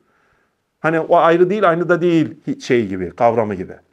Kavram öbeği gibi. Ya diyorsun sadece tenzih ilkesi olarak kullanılmış. Yani Allah'ı bilmeye dair kullanılmış. Yaratımın temel ilkesi bu. Yani yaratımı bildiğin zaman anlıyorsun onu. Bak senin her düşünce etkinliği, yaratıcı etkinlik içerisinde gerçekleşirken sen de gelişiyorsun orada. Ve gelişirken paylaştığın zaman paylaştığın dünyaları da değiştirmeye başlıyorsun. Bu ne kadar önemli. Aynı derde düşmüşlerle buluştuğun zaman ha diyor tamam ben de böyle düşünüyordum ama hakikaten bu böyleymiş. Bu böyleymiş, bu böyleymiş, bu böyleymiş diye ortak adımlar atmaya başlıyorsun. Bu ne kadar önemli. Yani gelişmek öyle sıradan bir şey değil. Yani bir veçeden anlatılacak bir şey değil. Yani yaratım ve gelişim bağıntısı çok önemli. Ama şurası çok önemli ki ne? Bireysel anlamda sadece yaratıcı etkinlikte bir gelişimden bahsedemiyoruz. Oldu. Çevre faktörü, çevre faktörüne kalma şey kaldığı gibi evre faktörü, evrelerden geçiş. Ama yeni bir şeyin bir evre olarak yeniden çıktığını görmemiz ise literatürü bilmemizle ilgili bir şey. Bu sanat, felsefe, bilim, tasavvuf, kelam, literatürü çok iyi biliyorsak yeni bir şeyin orada çıktığını görebiliyoruz. Ha, bu başka bir şey diyebiliyoruz. O artık yeni bir gelişim evresidir. Çünkü yeni şey kendine eylemeye başladığında bütün dünya değişiyordur o. Felsefe yeniden değerlendirilir. Bilim yeniden değerlendirilir. Sanat yeniden değerlendirilir. Tasavvuf yeniden değerlendirilmek zorunda kalınır. Hani yok ol, yok ol, yok ol. Lan yok ol derken sen yok olmamışsın. Ben nasıl yok olacağım? Bu yok olmanın nasıl olduğunu bana anlat. Anlatabildim mi? Yani kavramsal olarak içeriğinin yeniden nasıl kullanılması gerek. Hepsi değişir. Dünya değişir yani. Böyle de sıradan bir şey değil. Geçmişlerin başlarından geçenlerin başınızdan geçmeyeceğimiz. Bu bir imtihan ayeti değildir. Bu tamamıyla gelişim ayeti. Süreç içerisinde diyor neler geçiyorsa başlarından senin de başından geçmeden yeni bir oluşa taşınmana imkan yani potansiyelinde sende olan imkanı yeni bir yere taşımana imkan yok.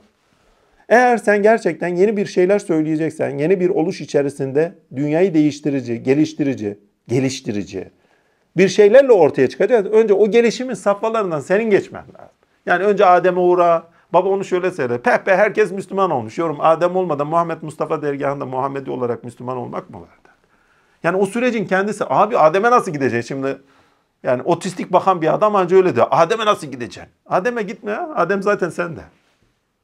O potansiyel sende o hani hak ile olan duyarlılığın sebebi o potansiyelinden açılıp açılmaması söz konusu. Adem'deki o potansiyel sende açtı mı? Yani nicelin dünyasına şey etmek, gitmek. İbrahim'in kendilik dünyasına taşınmak sende açıldı mı? Bak anlatabildim mi? Onun gibi düşünebilme yeterliğinin var mı ayetler üzerinden?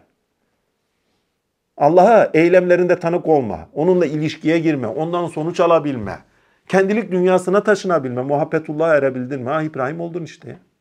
Zikret diyor yani an. An. Yani sende hayata geçsin o. Veyahut da kelam senden inebiliyor mu bir İsa gibi? İlişkilerde hak hat belirlenimlerine göre hem hakkı görebilmen hem hakka göre hareket edebilen olabiliyor mu Musa gibi? Bakın en genel bağlamda söylüyorum hepsini. En genel bağlayıcı tarafları bunlar. Hani şu kelime İsa'nındır, bu kelime İsa'nındır gibi de tarafıyla da söylemiyorum. Çünkü bir kelimeleri yok yine birçok kelimesi var her birinin. Kalkıp da bir kelimeye indirgemiş Melisa Muhittin Arap. Ama bir şekilde insan üzerinde anlamın nasıl tezahür ettiğini görebilmek adına Muhittin orada bir başattır bak. Ama eksiktir. Yanlışlarıyla beraber. Adem bahsini açın. Bütün alemi aynı eder ya. Kurbanlığı tutar, İshak yapar, İsmail yapmaz mesela. E bunlara takılı kalamayız ki.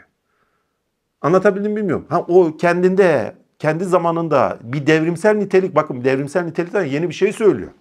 Eksikleri ve yanlışlarına rağmen. Yani alemin bir anlam taşıdı, insanın bir anlam taşıdı ve alemde o insanın ilişkilerinde efendime söylüyorum anlamın tezahür ettiği.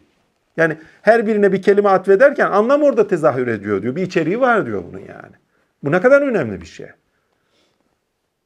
Ama yanlış okuduğun zaman yanlış çıkıyor işte. Tamam tespit doğru. Hani anlam düzeyinden okumada doğru. Açtığı şey çok önemli. Hani meyvası çok önemli.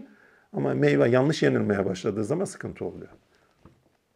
Mesele oradan kaynaklanıyor. Yorum biçimsel olarak da meyveyi yeniden bir yorumlayayım dediğin zaman elde patlıyor, kurtlanır gider yani. Mesele ne burada? Yeni şeyi söylediği halen takip ettiğimiz bir şey. O yeni şey orada durur hep. Doğru olarak yeni olan durur. Üzerine eklenen tozlar, eksiklikler, yontulmuşlar, şunlar bunlar, hakikate bizi örten şeyler zaman içerisinde yeni olan gelen kişilerle beraber süpürülür gider. Aristoteles'i halen süpürebiliyor muyuz? Zeus'tan bahsediyor onu. Süpürgeç yok. Peki bugün Aristoteles'in Zeus'un üzerine konuştuğu şunu bunu konuşuyor muyuz? Yok. Aristoteles'in neyi nasıl bilmemize dair söylediği şeyler üzerine konuşuyoruz. Yani yanlış ve eksikler tarih içerisinde elime olur. Hak geldi batıl zayi oldu ayet orada da işliyor. Yetmiyor. Arkadaşlar bir şeyin ne olduğuna dair düşünecekseniz Aristoteles'e uğramak zorundasınız ya. Ampirik felsefeye bir şeyin nasıl olduğuna dair uğramak zorundasınız yani. Bir şeyin ne için olduğuna dair düşünecekseniz de sibernetik dine uğramak zorunda. Sibernetik düşünce uğramak zorunda. Hikmete uğramak zorunda. Tasavvufa uğramak zorundasınız. Bir şekilde uğramak zorundasınız. Yani alan olarak tasavvuf, efendime söyleyeyim, felsefi anlamda da bir şeyin ne için olduğunu sibernetik olarak anlaşılabilir. Yani ereğin, sonucun, amacın nedenleri belirli kıldığı bir anlayış üzeri bakılır. Organik bir dünyaya bakabilirsin orada. Mekanik bir dünya değildir sibernetik bakış hiçbir zaman. Aynı zamanda bir şeyin sonucu, ereği, efendime söyleyeyim amacı o şeyin ne içinliğini de belirli kılıyordur. Anlam ve değer olarak. Sonuç çünkü onu bir değer yüklemini taşıtır. Sadece kendinde olan anlam değil. O anlam bir değer olarak artık ortaya çıkar. Yani şu selpak sibernetik olarak baktığın zaman niçinse burada o onun içindir bir değerliliği. Anlama dair, bütüne katkısına dair, rengine dair, kullanım değerine dair. Sonuç belirimi onun anlamıdır. Hikmetidir. Ve alemde niçin yer edindiğine dairdir. İnsan da böyle. Yani arkadaş işte Aristoteles bize yetmiyor ya dediğin yerdir orası. Gazali yetmiyor. Çünkü o dünyada hakim olan düşünce ne sorusu kalıbı üzeriyle bakmak. Ha niçin niye dair söylevleri bile olsa yapısal akıl ne sorusu kalıbı üzerinden yapısal. Bir defa bunu tespit etmek lazım. İstediği kadar ne için üzerine bir şeyler söylensin. Ne için niye? Yapısal olarak neye bağlı olarak yapısal kılınacağı bilinmiyor zaten. Yani ilmini bir yere oturtacak şeyi yok. Ha, ayet bağlamında şu ayet böyle söylüyor. Niçinliğimizi böyle diyebilir. Ama o ayete bağlı olarak neyin nasıl yapısal kılındı, akli olarak nasıl yapısal kılınarak bunun işlenebileceği, ilim olabileceğin aklı yok o sırada. Ama ne sorusu kalıbıyla bir ilim var. O yapısal kılınmış. Formel mantık yapısal kılınmış. Formel mantığı doğru kim? ibn Sina. Aristoteles bile değil ha. ibn Sina aşar orayı. İbn Rüşd onun şeyidir, gölgesidir. Bu işin en büyük babası ibn Sina. Allah'ın selamı üzerine olsun. Ve birçok kavram kazandırıyor bize. Bugün vacibül vücut dediğimiz kavramı ya muhteşem bir kavramdır. Ha. Öyle sıradan bir kavram değildir ha teolojide. Vacibil vücut. Olması gerekli zorunlu varlık. Ama neden ilke? Erek ilke değil. Peki tasavvufta hak geldi, batıl zayi oldu. Değil mi? Demek ki hak ile bir gelişim içindeyiz demektir. Ve gelişimin en temel şeyi nedir? Oluş biçimi nedir? Diyalektik. Karşıtlık ve çiftler ilişkisinde uyumluluk ve zorlayıcı olanlarla beraber kişinin hep daha yeni olan şeye doğru evrilişi ve yeni olan şeye bağlı olarak ortak değerler ve kültür yapısal olarak, efendim kültür yapısal diyorum, medeniyet yapısal olarak onun hayata tezahür etmesi. Gelişim orada da görüyoruz. Yani kültürde ne kadar karşılığı var? Medeniyette ne kadar yapısal kılınarak da genele yaygın kılınıyor. Bu çok önemli. Bunu biraz daha da ilerleteyim. Gelişim bağlamında. Ya Moğolların zamandaki hukukta değiliz değil mi? Bugün biraz daha gelişmiş ama dünya çapından baktığım zaman hukukta hem yanlışlar hem de eksikler var. Dünya çapında hukuktan bahsedebiliyor muyuz? Eşkıyalar cirit atıyor. Amerika Birleşik Devletleri, efendim Rusya, Çin ve o kadar aymazlar ki hiç de kimse umurlarında değil. Yani dünya umurlarında değil ya yansa bitse umurlarında değil. Hiç de umurlarında değil. Ukrayna'da kaç milyon adam gitti Amerika'nın umurunda mı yani? İngiltere'nin umurunda mı? Bu işi başlatanlar onlar. Zelenski Melenski değil. Hangi hukuktan bahsediyoruz? Yani neymiş? Rusya, Putin savaş suçlusu. Ulan birinci savaş suçlusu sizsiniz. 18 milyon insanın göçüne sebep vermişsiniz. Bu olayı başlatan sizsiniz. Alan adamı sıkıştıracağım diye. Kedi gibi böyle sıkıştıracağım. Efendim paramparça yapacağım. Hani daha rahat hareket edeyim Çin'e doğru. O alanı da iyice tutayım. Amerika'yı da kendime mahkum, şey pardon, orta şeyi Avrupa'yı da kendime mahkum kılayım. Bütün plan proje budur ha başka bir şey değil. Kaç kişi öldü orada? Kaç tane insan göç etti evinden, yuvasından, ondan bundan kaldı? Birinci savaş suçlusu sensin.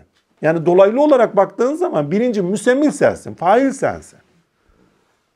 Yani bir özgürlük savaşı değildir o. Hiçbir zaman da olmadı. Amerika'nın özgürlük savaşı verdiği yoktur orada. Vietnam'da ne kadar özgürlük savaşçısıysa, Kore'de ne kadar özgürlük savaşçısıysa, efendim Ukrayna'da da o kadar özgürlük savaşçısıdır. Rambo ile anca o işi kazanır. Başka türlü kazanamaz yani. Yani. Peki ilk Rambo deyince orada yakayım. İlk şey efendime söyleyeyim sinema filmleri, oyunculuklar, efektler aynı mıdır günümüzde? Kullanım biçimleri yani. Niçin olduklarına da. Eskiden film oynatsınlar diye veyahut da haber niteliğinde oynatılan şeyler sinemalarda şimdi siyaseten de manipüle etmenin aracı silah olarak da kullanılan bir şey var. Buradan hani bu gelişim konusunu bir parça bitirdiysek diğer soruya geçin. Bununla ilgili bir şey çünkü. Yani gelişimi çok dallı budaklı bir şekilde gene konuşmaya devam edebiliriz ama en temelinde olan bunlar. En önemli şey arkadaşım birisi sordu. Soru şu. Bilmiyorum kimi sorduğunu. Bir yerlere gitmiş. Kendisi de polis olmak istiyor. Diyor ki ne polis olmak Nihat Hatipoğlu soruları gibi. Ben böyle sorulara cevap vermiyorum ama niteliği çok önemli sorunun. Bak sorulan sorunun niçin sorulduğu değil. Niteliği çok önemli. Soru şuydu. Polis olmak istiyorum ama bir yerlere gittim sordum. Dediler ki ne? Ya iyi bir meslek değil. Boş ver olma. Yani haramzade olma filan filan. Hani ca, ca, şey değil. Yani ne derler? Caiz değil. Cevaz yok. Yani siz ne dersiniz diye soru sormuş. Kim olduğunu bilmiyorum. Allah'ın selamı üzerine olsun. Abi git ne oluyorsan ol ya. Ne istiyorsan onu ol. Ama bu o kadar basit bir cevabı olan bir soru değil. Yani birileri sana öyle dedi diye sen olmamazlıktan vazgeçme. Git ol. Ama bunu bu şekilde yani sonda söyleyeceğim ve başta söylediğim şey cevap. Ve kısa ve özet. O kadar kısa ve özet değil. Alanlar, bakın polislik alanı emniyet alanıdır. Emniyet alanı hangi esmanın tezahürüdür? El mümin, el selam. Tıp hangisidir? El şafi, el hakim, el alim. Bütünlüğün korunduğu yerdir. Bunlar hep bütünlükle ilgili. Sanat, el mustavir, el halık, el bari, el bedi. Siz ekleyin ha. Ben birkaç tanesini sıralıyorum sadece. Devam edelim. Felsefe, el hakim, el alim, tasavvuf, el rab, el murabbi, kelam, el alim. Daha başka bir şey göremedim ben orada. Hakimlik çok zor çıkıyor. El hakimi de ekleyebiliriz. Anlatabiliyor muyum bilmiyorum. Yani bizler halifetullahsak yeryüzünde de Cenab-ı Allah'tan dolayı insanın yaptığı işler sebebiyle alanlar açılıyorsa ilişkilerimizde alanlar açılıyor. Şifaya dair, emniyete dair değil mi? Ve orada Cenab-ı Allah'ın karakter biçimsel anlamda, ahlak biçimsel düzeyde Cenab-ı Allah'ın sıfat-ı ilahileri, esma ilahisi tezahür ediyor. Ve bir ayet kerimeyle burayı de şey deyip toparlayayım. Diyor ki sizler dinime hizmet etmezseniz, dinimize hizmet et, sizleri giderir başkalarını getiririz. Sen alanları boş bırakırsan, alanlarda Cenab-ı Allah'a hizmet etmezsen, orasının gidiyor gidiyor seni giderir başkalarını getirir. Derler ki Hızır Aleyhisselam'la bir kadı arkadaş olmuşlar. Hikaye bu. Kadı diyor ki ya Hızır seninle daha çok görüşelim kardeşim. Tamam görüşelim. Azıcık arttıralım mesaimizi. Hani muhabbet mesaimizi ne yapalım? Bir saat daha fazla yanında kalırız işte. Dayanamıyor adam. Muhabbet güzel, koyu. Kadılığı bırakıyor. Hızır'ı bekliyor, Hızır yok. Aradan aylar geçiyor, üngür üngür ağlıyor. Hızır ne yaptım ki ne sen gelmezsin? Ne yaptım ki sen? Ya senin için kadılığı bile bıraktım ben. Vesaire. O ağlamalara dayanamıyor. Hızır Aleyhisselam geri geliyor. Hikaye bu. Kardeş diyor, niye yaptım? Ne kusurum ne? Ya biz seninle niçin sohbet ediyoruz? Senin özün güzel. Gittiğin yerde güzel hizmet ediyorsun. O insanlar efendime sana davaya geldikleri zaman sen hak üzere karar veriyorsun. Sana olan muhabbetimiz, o muhabbetimiz ondan dolayıydı. Şimdi senin yerine hırsızın birisi orada, millete de zulüm ediyor. Hadi gel seninle sohbet edelim. Anlatabildim mi bilmiyorum. Kardeş polis ol ama şerefli bir polis ol. Kalkıp da bu üniformanı 10 kuruşa 100 kuruşa satma. Bir, sana emanet edilmiş ihanet etme. İki, sana emanet edilmiş efendime söyleyeyim 10 kuruşa 5 kuruşa zillete düşürme. Kendi nefsini düşürüyorsun. O üniforma gene bir kadri kıymeti vardır. Bir tane polis kardeşim söylemişti. Ya dedi bir tanesi daha yeni hani tutmuş adam çeviriyorlar 100 lira almış. Dedim 100 liralık adamsın. O da polis. O da polis. 100 liralık adamsın ona tenezzül ettin diye. Vatana ihanetin daniskasıdır ha. Daha ilerisi yok emin olun. Daha ilerisi bilgileri sızdırmaktır. Sana emanet edilmiş bir üniformaya ihanet ediyorsun rüşvetle. Onu bırak. Sen oraya hizmet için varsın. Köstek olmak için var değilsin. Yani mesleğin değil. Aldığın para bile haram sana yani.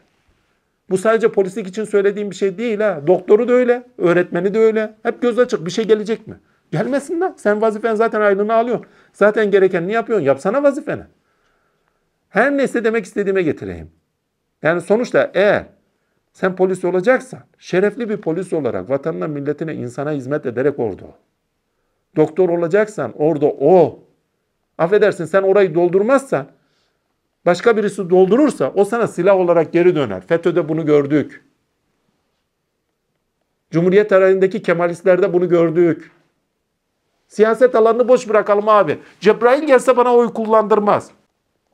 O kadar biliyorsun. Sen o siyaset alanını boş bıraktığın zaman işte başına ne geliyor? Sen o polis alanını bıraktığın zaman başına ne geliyor? Sanat alanını bıraktığın zaman Düdük Şaban, efendim pardon buraları silme. Neydi? Düdük Ramazan, efendime söyleyeyim neydi o? Ya, en basiti Recep İvedik de her neyse neydi o? Düdük Şaban'ı var da bir de neydi? Şey Şaban. Neydi? İnek Şaban. Arkadaşlar şeye bakın. Neydi? Şu 50 senenize bakın. Şaban'la Ramazan isimleri ne kadar veriliyor? Ya ben kendi şeyimden biliyorum. Çocukluğumdan biliyorum. Kaç tane Şaban ve Ramazan ismi biliyorum. Şu anda Ramazan, Şaban ismini ben bilmiyorum. Hadi bir de modernleştik efendime söyleyeyim. Şey olduk yani modern isimler koyalım. Melisa koyalım. Koyalım kardeşim. Güzel isimler koyalım ama ya. Ama anlattığım bu değil. Sana silah olarak geri döndüğü zaman büyük sıkıntı. Bugün Hollywood sinemasında sanat silahtır. Yeğenim Baran'la bir film izliyorduk. Neydi o? 1074'te mi ne? Bir İran'da devrim mi oluyor? Kaçta oluyorsa bilmiyorum işte. Benim doğduğum sene işte. Neyse devrim oluyor. Devrimin üzerine Amerikan ajanlar oraya gidiyor hani sanat yapıyoruz, film yapıyoruz gibi oradaki rehineleri kaçırmak için falan diye. Bir film vardır. Ben Affleck'in oynadığı. Neydi o? Agor muydu? Öyle bir film. Hatırlayamıyorum. Dedim yeğenim dedim bu Oscar alacak dedim. Adamın oyunculuğu beş para etmez. Film beş para etmez. Baran'la biz izledik. İzledikten sonra dedim ki bu film Oscar alacak. Dayı dedi Oscar alacak nesi var? E yeğenim dedim bundan diye siyaset malzemesi mi var? Yani. Oscar da aldı. Yani. Keşfi olarak söylediğim bir şey değil ha. Keramet olarak da söylenen bir şey değil. Yok öyle. Aklı o. Silah çünkü o. Siz ekonomik alana boş bırakırsan ekonomik alan size silah olarak döner. Bunu da Yahudilerden görüyoruz. Yani. Anlatabildim mi bilmiyorum. Yani alanları boş bıraktığınız zaman alanlar size silah olarak geri dönüyorsa orada büyük bir sıkıntı var. Bir, sıkıntı şu. Siz halifetullah olarak hakkını vermediğiniz yerde değilsiniz. Yani o alanı doldurması, hakkıyla doldurulması gereken kişilersiniz ve alanı doldurmuyorsunuz. Aynı o kadı gibi düşünün. İki, yani halifetullahlığın hakkını vermiyorsunuz. Dine hizmetin, buradaki din dediğim bize bahşedilmiş İslam değil. Cenab-ı Allah'ın sıfatı ilahilerin tezahürüne olanaklı kıldan bir oluş içinde değilsen. Onun haricinde ne yapıyorsun? O alanları kötüler doldurur zaman aa niye böyle olduk niye? O iyi oldun işte ne oldu ki sana hatırlatıyor Cenab-ı Allah. Sen o alanı boş bırakırsan bak böyle olur. Ya bir Amerikan filmi gösterin ki bana Orta Doğu'ya dair olsun. İslam orada karalanmasın. Bir. Oradaki Arap çok çirkin ve vahşi gösterilmesin. Bilinçaltına sübliman mesajların hepsi vardır orada. Çizgi filmlerinde bile var ya. Rast geldiğin zaman şaşırdım lan çizgi filme kadar inmişler dedim. Ya ne kadar acı bir tablodur. Peki Hollywood sinemasını kim ayakta tutuyor? Yahudiler. Olay bitmiştir ya. Şidilbek dediğin Yahudidir. Kaç tanesini sayayım size ardarda? Arda. arda deyince de aklıma gelmez. Mesele Abi sanat ya yapılır mı? İşte yapılır mı sorusunu sorduğun anda bitiyorsun ya yap. İranlı birisi bir peygamber efendimiz üzerine ne yaptı? Efendime söyleyeyim. Bir film yaptı. Ya arkadaş adamı boğmak için elimizden gelen yaptı. Adama söylerler ya. Kardeşim sen de yap. Öyle bir film yap ki o öyle önüne çık. Tamam sözel olarak eleştiri lazım. Ammenle anlıyorum. Ama o kadar da yıkıcı olma ya. Adam bir şeyler yapmış. Ama sen öyle bir film yap ki onun yanına durduğu zaman o cılız kalsın. Ha desinler, film bu desinler. Sanat bu desinler. Yani eylemin ne göster? Abi felsefeye çatıyoruz. Yani felsefe yapma şöyle. Ya öyle bir felsefe yap ki. Geçmişlere dair yeni bir şeyle bir çık ki. Öyle bir şey olsun ki insanlar artı bir değer olsun ve hepsinin yerindeliğini gösterebilecek bir felsefen olsun. Yerindeliğinde yapabileceğin bir felsefe olsun. Hikmete dair. Bilmem anlatabildim mi? Ya felsefe boş ver. Sanat boş ver. Siyaset aman ha Cebrail olsa oy kullanma. Boş ver. Ondan sonra millet perli duvar, perli perişan. Arkadaşlar nerede iş yaparsanız yapın. İster bilim alanında yapın. ister sanat alanında yapın. Vazifeniz neyse yani. İşiniz neyse veyahut da hobiniz neyse. Neyse artık o. Hakkını vererek yapın. Eskiler ne güzel söylemiş ya. Her alanın kendine ait namazı vardır gibilerinden. Oranın namazını doğru kırın. Yani Allah'la olmayı sürdürün orada. Sizden bırakın Allah tezahür etsin. O Hızır'la Kadı hikayesi bu bağlamda çok önemlidir. Ve şu ayeti unutmayın. Neydi? Aklıma gelsin. Sizler dinimize hizmet etmezseniz sizleri gider. Biz onu kimlik bağlamda anlıyoruz. Sizler dinimize hizmet etmezseniz sizleri giderir birilerini getiririz filan. Ha ben İslam'a hizmet ediyorum, kılıç elimde, tüp, tank, tüfek elimde filan. Böyle bir şey kastetmiyor. Sizler diyor Cenab-ı Allah'ın sıfatlarını hakkı gereği yaşamazsanız diyor. Nefsinize mal ederek yaşarsanız diyor. Sizlere giderim yenisini getiririm. Öyle de oluyor zaten. Yani. Şaban, Ramazan isimleri. Kemal. Kemal ismini kaç kişi takıyor arkadaş? Aşağılıcı bir isim olarak bakılıyor çünkü. Kamil. Lan Kamil. Aynen böyle kullanılıyor. Vurun Kahpe diye bir film vardır ya. Halide Edip Adıvar'ın romanından ayarlanmıştır. Kemal Sunal'ın Satılmış Elmacı Ağa diye bir güzellemesi vardır. Neydi? Romatizmaları tutar, yağmur yağar böyle. Orada kötü bir figür vardır. Ya illa kötü bir figürü mü göstereceksin? Öyle bir şey yap ki ne? Nasıl olması gerektiğine dair yap. Arkadaş bu böyle olması gerekiyor diye yap. O kötüler kendilerini görsün. Öyle bir felsefe yap ki ne yanlışlar kendini görsün. Öyle bir sanat yap ki ne abi senin yaptığın film orada cılız kalsın. Yani o kişinin yaptığı film cılız kalsın. Seninki orada görünsün yani. Orayı doldur yani. Sen doldur. Belki bir ekip olarak doldur ama insanları olumlu noktada motive ederek doldur.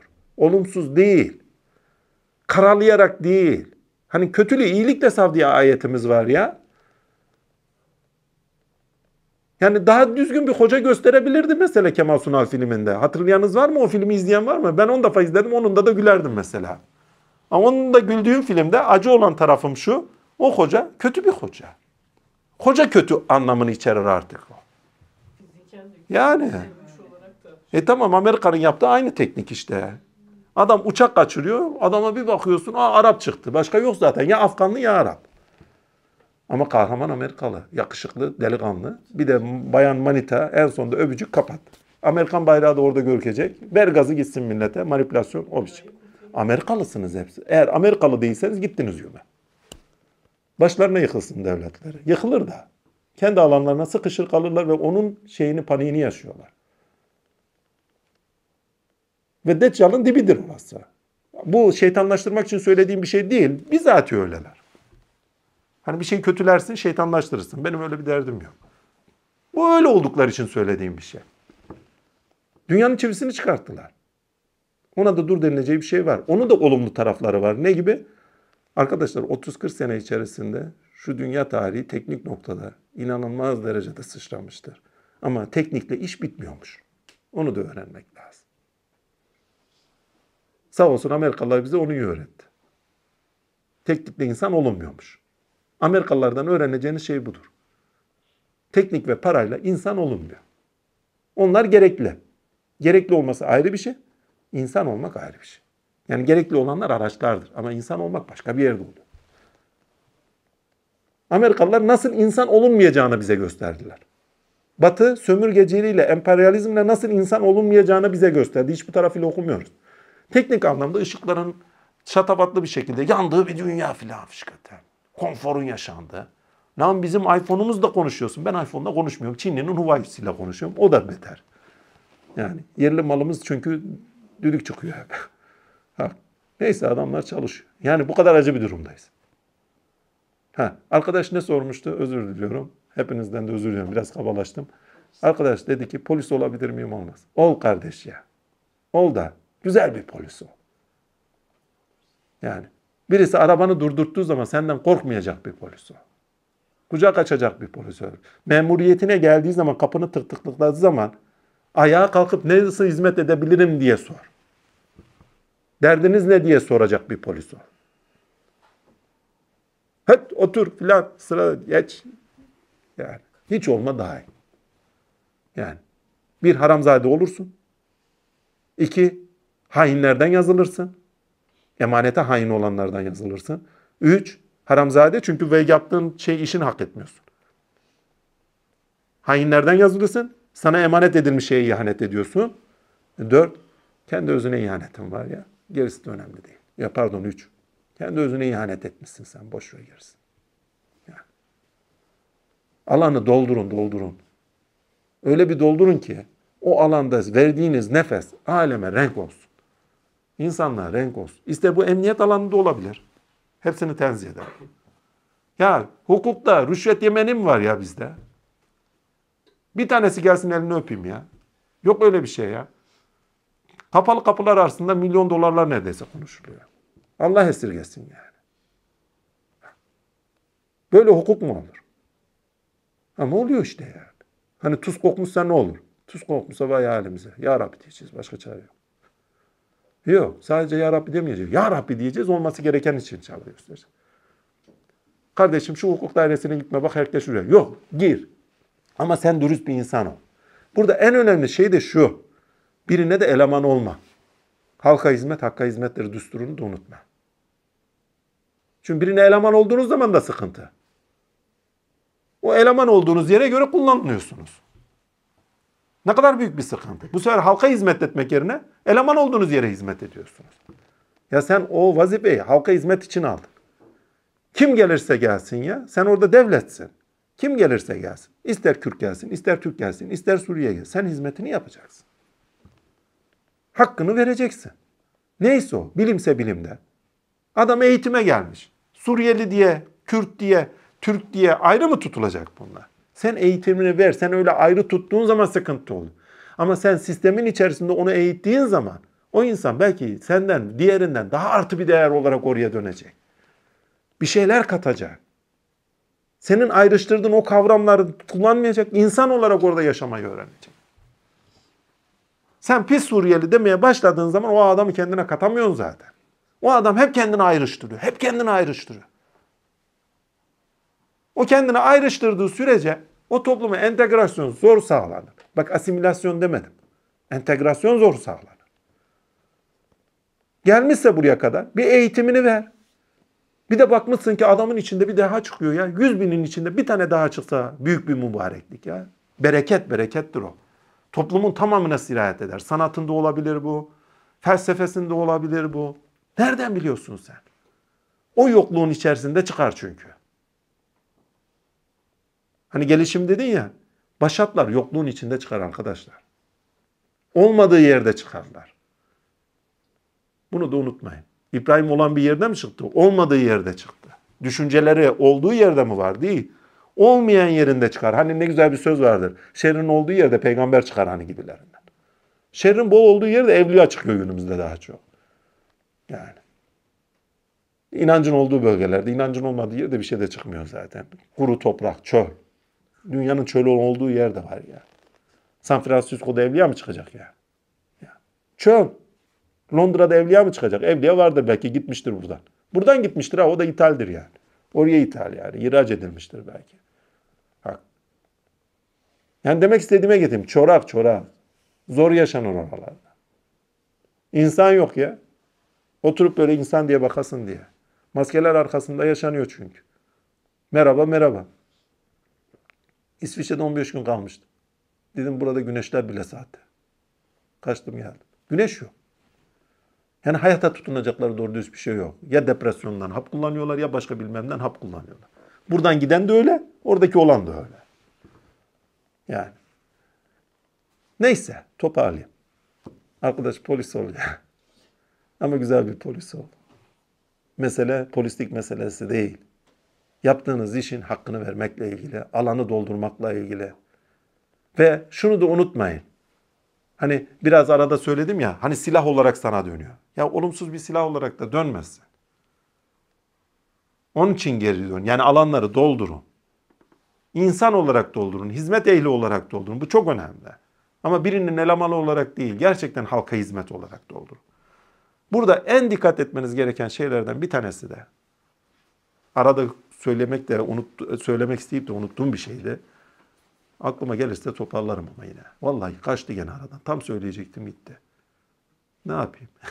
Bazen gidiyor böyle. Hak. Yani mesele en temelde insan olma meselesi ise buna dikkat edin. Alan ne olursa olsun sizin insanlığınıza zeval vermesin. Aklıma geldi şimdi. Aklıma gelen şuydu. Ya arkadaşlar insan nefse emare bağlı. Nefse emare varlıysa, bakın nefse emare varlı. Nefse emare varlıysa şu dindardı, şu sağcıydı, şu CHP'liydi, şu AK Partiliydi. Bunu geçin. Hani abi AK Partili insan burada, abi CHP'li bak modern insan burada filan. Lan geçin bunları yıkın yıkın. İnsan zaaf varlı. Affedersin onun da eline parayla gücü ver değişir. Öbürünün de eline ver parayla gücü değişir ya. Zaaf varlığı yani. Onun için şunun içinden şöyle çıktı, bunun içinde öyle çıktı diye grupları, etnik grupta olabilir bu. Efendime söyleyeyim veyahut da parti de olabilir bu. Karalama hakkına kimse sahip değil bu bağlamda. İnsan zaaf varlığı çünkü. Mesele insan meselesi burada. İslam'ın içinde efendime söyleyeyim birkaç tane affedersin çürük elma çıkmış. Bu İslam'ın kendisini mi niteler? İslam'ı nitelemeye mi götürür yani? Sen orada hocayı kötü gösterdiğin anda bütün İslam'ı efendime söyleyeyim kötü gösterme niyetiyle yapıyorsun. Bunlar böyledir aklıyla yapıyorsun. Ya içlerinden birkaç tanesi kötü diye hepsi mi kötü? Aynı şey diğer için de öyle. Yani bir parça o iyi taraflarımızı öne çıkartmak. Ortak buluşacağımız o ahlaki taraflar. Çünkü ahlak entegrasyonu getirir ya. Uyumluluğu getirir. Ya annemin evi 24 daireli yer. 24 daire Alevisi var, Sünnüsü var, Kürdü var, Türkü var, Çerkezi var, o su var, bu su var. Hepsi de etnik grup olarak farklı, siyasi görüşleri de farklı. Hepsini de tek tek tanıyorum. Bir gün kavgalarını bilmiyorum. Bir gün. Hepsi birbirine yemek götürür, hepsi birbirine efendim halatır sorar, hepsi birbirine anahtar teslim ederler. Öyle bir 24 daire. Ha ufak tefek tartışmalar olur mu? Vallahi bir gün denk gelmedim. Hani olur diyecektim de diyemedim bir türlü. Ben denk gelmedim. Yani Allah'ın selamı üzerlerine olsun. Yani ahlaki entegrasyon, uyumluluk muhteşem bir şey ya. Çünkü özleri temiz. Ve Allah öyle denk getirmiş. Siyasi görüşleri farklı. Onları farklı, bunları farklı. Her şeylerle farklı. 24 tane aile yaşıyor. Bir tane evde 9-10 kişi yaşıyor. Bir tane evde 2 kişi yaşıyor. Vallahi diyorum ha. Benim annem tek yaşıyor. Sebep? Arkadaş inatçı yani. Konforu seviyor yani. Ben böyle rahatım diyor. E neyse. Sıkıntı o değil. Demek ki olabiliyor ya. Yani. Yani güzel yaşamak olabiliyor. Her insanın güzeli var. Her grubun güzeli var. Yeter ki bir parça açık olalım bir. iki. Ha zihniyetlerin birbirine efendime söyleyeyim taraf olması ayrı bir mevzu. Ama önce insanız ya. Ve insan zaaf varlığı ve ahlak varlığı. E güzel insanlarımız olabilir. Onlarla o güzel tarafımızla uyumluluğu bulacağımız çok şeyler var. Ama kardeş ya insan aynı zamanda dediğim gibi nefse emmare varlığı, zaaf varlığı yani. Ha burayı da kaçırmayalım. Birileri kötü bir şey yaptığı zaman kalkıp da bütün o kesimin kendisini nitelemeyelim. Düşmansa düşmanlığını bil ya. O bile şerefli olsun ya. Ya o bile şerefli olsun. Yani hepsini niye karalarsın yani? Bir hoca şey üzerinden bütün milleti karalarsın. Bir inek şaban üzerinden, bir Ramazan, düdük Ramazan üzerinden. Bütün Ramazanla şabanlarımız gider. 20 seneden beri kaç tane şaban ismi verilmiştir diye bakın. Anlatabiliyor muyum bilmiyorum. Geçmişte vardı ama. Benim çocukluğumda vardı. Şabanlar, Ramazanlar boldu. Yani. Böyle bir oluş içindeyiz. Bırakmayın o zaman alanları boş. Bir, girdiğin zaman alanlara da hakkını verin iki. Hakkını vermiyorsanız hiç yapmayın. Liyakat ve yeterlilik. Yeterliliğin yoksa yapma o işi. Haram ya. Yani. Adam mühendis, bulunduğu yerde İngilizce mezun olması lazım. Hani İngilizcesinin de çok iyi olması lazım. Efendime söyleyeyim ayrıca işi de sırf onunla ilgili. Adam İngilizce bilmiyor orada iş yapıyor. Ne iş olacak bu? Yani. Adam gibi adam koyuyor oraya. İşini yapacak koyuyor. Ama diğeri de geliyor. Ya kardeş diyor ya şimdi ben bunlara yaparsam siyasi olarak da böyle olur. Yapmayayım daha iyi. Sen de olma ya. Yani madem ki yeterliğin var o işe liyakatın olsun siyasete değil. Yani siyasete liyakat arama orada. O işe alanı sen girdiysen yani neyse o alanı o alanın hakkını sen ver. Yeterliliğin varsa liyakatını da sen o alana göster. Filancalara değil. Siyasete yaranacağım veyahut da yaranmayacağım derdi olmasın sen. Alanın hakkını veriyorum ya, işimin hakkını veriyorum yani. Bu önemlidir. Ha vermiyorsan iki türlü gittin. Birincisi orayı işgal ediyorsun yeterliliğin yok diye gittin güme. Artık seni de getirenler de gitti bir şekilde. Haram mı bu? Başka bir şey değil. İki, eğer sen siyasi gerekçelerin sebebiyle o yere hizmet etmiyorsan, alana hizmet etmiyorsan, sen alanın hakkını gözetmiyorsun ki. Bu da önemli. Ama beyinlerimiz sulanmış. Yani ideolojik bakışlarımız, oyumuz, buyumuz efendim mesela yaptığımız işin hakkını vermeye bile engel. Sadece zaaflarımızdan dolayı değil. Yani ya arkadaşlar postacının bile rüşvet aldığı zamanlarımız vardı. Gerisini siz düşün. Bir şey demeyeceğim yani. Postacının, elektrikçinin, oyun buyun rüşvet aldığı zamanlarımız vardı. Allah esirgesin ya. Artık almıyorlar herhalde. İnşallah. Yani. İnsan zaaf varlığa nefse alıştırdığın zaman beklentileri olmaya başlıyor. Hani Avrupa'da rüşvet verilirmiş. Yok değilmiş. Sebep? Ha, pardon. İhtiyaç şey yani iş görülecek. Avrupa'da ama şunun için verilirmiş. Yapılmayacak iş varsa ona rüşvet verilir. Bizim memlekette yapılacak işe bile rüşvet veriliyor. Yani adamın işi o işi yapması lazım. Ona bile rüşvet veriliyor. Tapuya gidiyorsun adamın işi bekliyor yani. Abi niye bekliyor? Yapsana işini. Yani. Allah rüşvet verenlerden eylemez. Bugüne kadar vermedim, bundan sonra da vermeye niyetim yok. Allah'ın haram kıldığı bizim için haramdır, helal kıldığı bizim için helaldir. Gerisini de bilmem. Ha. Bir haramzadelik varsa ona da 40 tane kılıf bulmam yani. Ben yapıyorum hani ona da şey yapayım. Gerekçe uydurum. Ya bunun için aslında bu da olur ha. Adam zina yapıyor, zinasına gerekçe veriyor. Adam faize para koymuş, faizi işletiyor, tefeci. Ona gerekçe buluyor, şundan şundan sebebiyet. Abi günümüzün ekonomisi böyle. E tamam sen de günümüzün ekonomisinin dışında başka bir ekonomi yaratmaya çalış. O aklı geliştir. Olamaz mı yani? Olmayacak bir şey midir? Abi ama sistem böyle. Sisteme karşı çıkarsan dünya kopar. E işte dünyanın kopacağı yerde sen sisteme yeni bir şey söyle. Benim ekonomik şeyim o kadar donanımım yok. Olsaydı herhalde bir şeyler de söylerdim. E donanım olan birisi de çıksın ya bu sistem böyle değil böyle olması gerekiyor diye bir şeyler de söyleyiversin yani. Böyle mi gider bu yani? Dünya değişimlere gebedir her zaman. Yarının dünyasında devlet neredeyse olmayacak arkadaşlar ya. Nasıl bir dünyaya doğru gidiyoruz? Bunun ilk emarelerini görüyoruz. Yapay zekalar, devlet şeyleri, efendime söyleyeyim nedir? E-Devletler. Kaç tane kurum yok olacak böyle? Nüfus müdürlüğü acaba olacak mı? Muhtarlıklar acaba olacak mı? Bunlar hep devlet kurumları değil mi? Muhtarlık, nüfus müdürlükleri vesaire. Randevu alıyorsun artık. Eskiden telefonla arıyordun. Sekreterler vardı vesaire. Bak onlar gitti hepsi. Şimdi randevu alıyorsun. E-Devlet'ten, oradan buradan. Ya bayiler kapanıyor. Niye? Şey alıyorsun, internetten alışverişini yapıyorsun hemen. Eskiden neredeyse her semtte otobüs şirketlerinin şeyleri vardı değil mi? Bayileri vardı. Şimdi hangi yerde var? Birkaç tane yerde belki kaldıysa kalmıştır. Herkes şeyden alıyor, internetten biletlerini, oyunu buyunu Yani hayat kolaylaşıyor, değişiyor. Bu değişen hayatın içinde felsefi anlamda, teorik anlamda, ekonomiye de yeni bir şeyler söylenebilir. Değişmeyecek bir şey yok bu dünyada. Ha zor olur değişimler ama olur. Öyle veyahut da böyle. Bir şekilde olur yani. Ve daha güzel bir dünya için hiç yoksa alanları dolduralım ve insanlara hizmet edelim. Yani şu zaaflarımızı değil, alanların yeterliği ve liyakatını gözetelim. Sanatsa sanat. Abi benim adamım bu. Öbürü benim adamım bu. Ya sanatçıysa sanatçılığını yap kardeş. Ha siyasete hiç mi sözümüz olmasın? Ya olsun olmasın değil. İstersen AK Partici ol, istersen o. Önce bir sanatın da kendini göster ama.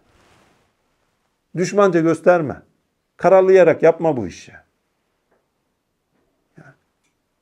O zaman sanatına da sirayet ediyor, sanatı da düdük çıkıyor. Böyle bir şey oldu. Her neyse velhasıl kelam. Neydi soru? Polis olabilir miyim? Ya ne olursan o. Yeter ki hakkını ver. Bilim adamıysa bilim adamlığının hakkını ver. Sanatçıysan sanatçının hakkı ver. Tasavvufsa tasavvufçuluğun, cu, cu, tasavvufçu olunmaz da. Tasavvuf, tasavvuf ehli olmanın hakkını ver. Cebini doldurmaya bakma. Ayet söyledim, para tıklayın gönderin. Şunu yaptım, yanmaz kefen satın alın. Efendim şu dergilerimizden, kitaplarımızdan da unutmayın. Lan hiç mi bedava yok bu işte? Yani tasavvuf dedim fisebillah Allah'a adanmışlıkla ilgili. Vakfetmek, kendini vakfetmekle ilgilidir. Gelecek hafta buradan hareketle söyleyin. Bu vakfetme nasıl bir şeydir? ve bu gelişimle ilgili olarak mürşit talip ilişkisi içindeki gelişim olanağı nasıl bir olanaktır? Yani insanla buluşmak nasıl bir gelişim olanağı içinde insana kalıyor? Bunu hatırlatın buradan yürüyelim. Oldu. Bu konularla çok yakından ya. Çünkü o alanın kendine ait bir gelişim eğitim biçimi var. Bir meleke kazanma biçimi var. Ve duyguların daha öncelikli olduğu ve o duyguların ibadetle öncelikli olduğu. Yani ibadetler vardır ama duygu önceliklidir. Önce hal gerek demiş. Namaz kılsan ne olur ki? Önce hali varsa eyvallah namazın da orada iş görüyor. Adamın duygusu yok. Namaz kılsa ne olur? Adam bakmıyor ki ona. Duygusuna bakıyor. Duygusu var mı yok mu diye bakıyor. Mesele bu. Zikir ediyor. Zikir etmek için ediyor. Değil. Sen o duygusunda yapıyor mu yapmıyor mu o iş? Millet desin ki diye mi yardım ediyorsun gerçekten? Hak için mi yardım ediyorsun mesela? Her birinin duygusu var. Önce hal gerek demişler. Yani duygusu gerek. Ve bu kalkıp kitaplardan alınan bir şey değil. Önceliğin duygu olduğu bir ortamda, bakın bu çok önemli. Önceliğin duygu olduğu bir ortamda bilgi bilimsel olarak şunu aktarayım falan yoktur orada. Bizatihi karşılıklı eğitim vardır. Ama duygu akışlarına bağlı bir eğitim öncelenir. İbadetler onun üzerine bir taçtır. Nafile ibadetler onun üzerine bir taçtır. Teorik söylevler onun üzerine bir taçtır. Ama duygunun üzerine bir taçtır. Çünkü o duygu sonuç verecektir. Yani seviyorsa sonuç alacaktır o. Çünkü duygular değer katalizörüdür. Bu bağlamda inşallah mürşit, talip ilişkisi bağlamda hani bu sene tasavvuf diyoruz ama tasavvuf dışında birçok şey konuşuyoruz. Ha, mürşit talip ilişkisinde bu duygu bağlantısı içerisinde gelişim neye bağlı olarak gerçekleşiyor? Bir parça bunun üzerine konuşalım. Ben unuturum hatırlatın. Biraz da Ramazan olunca iyice unuturuz. Hatırlatın. Selamünaleyküm. Allah'ın selamı üzerinize olsun.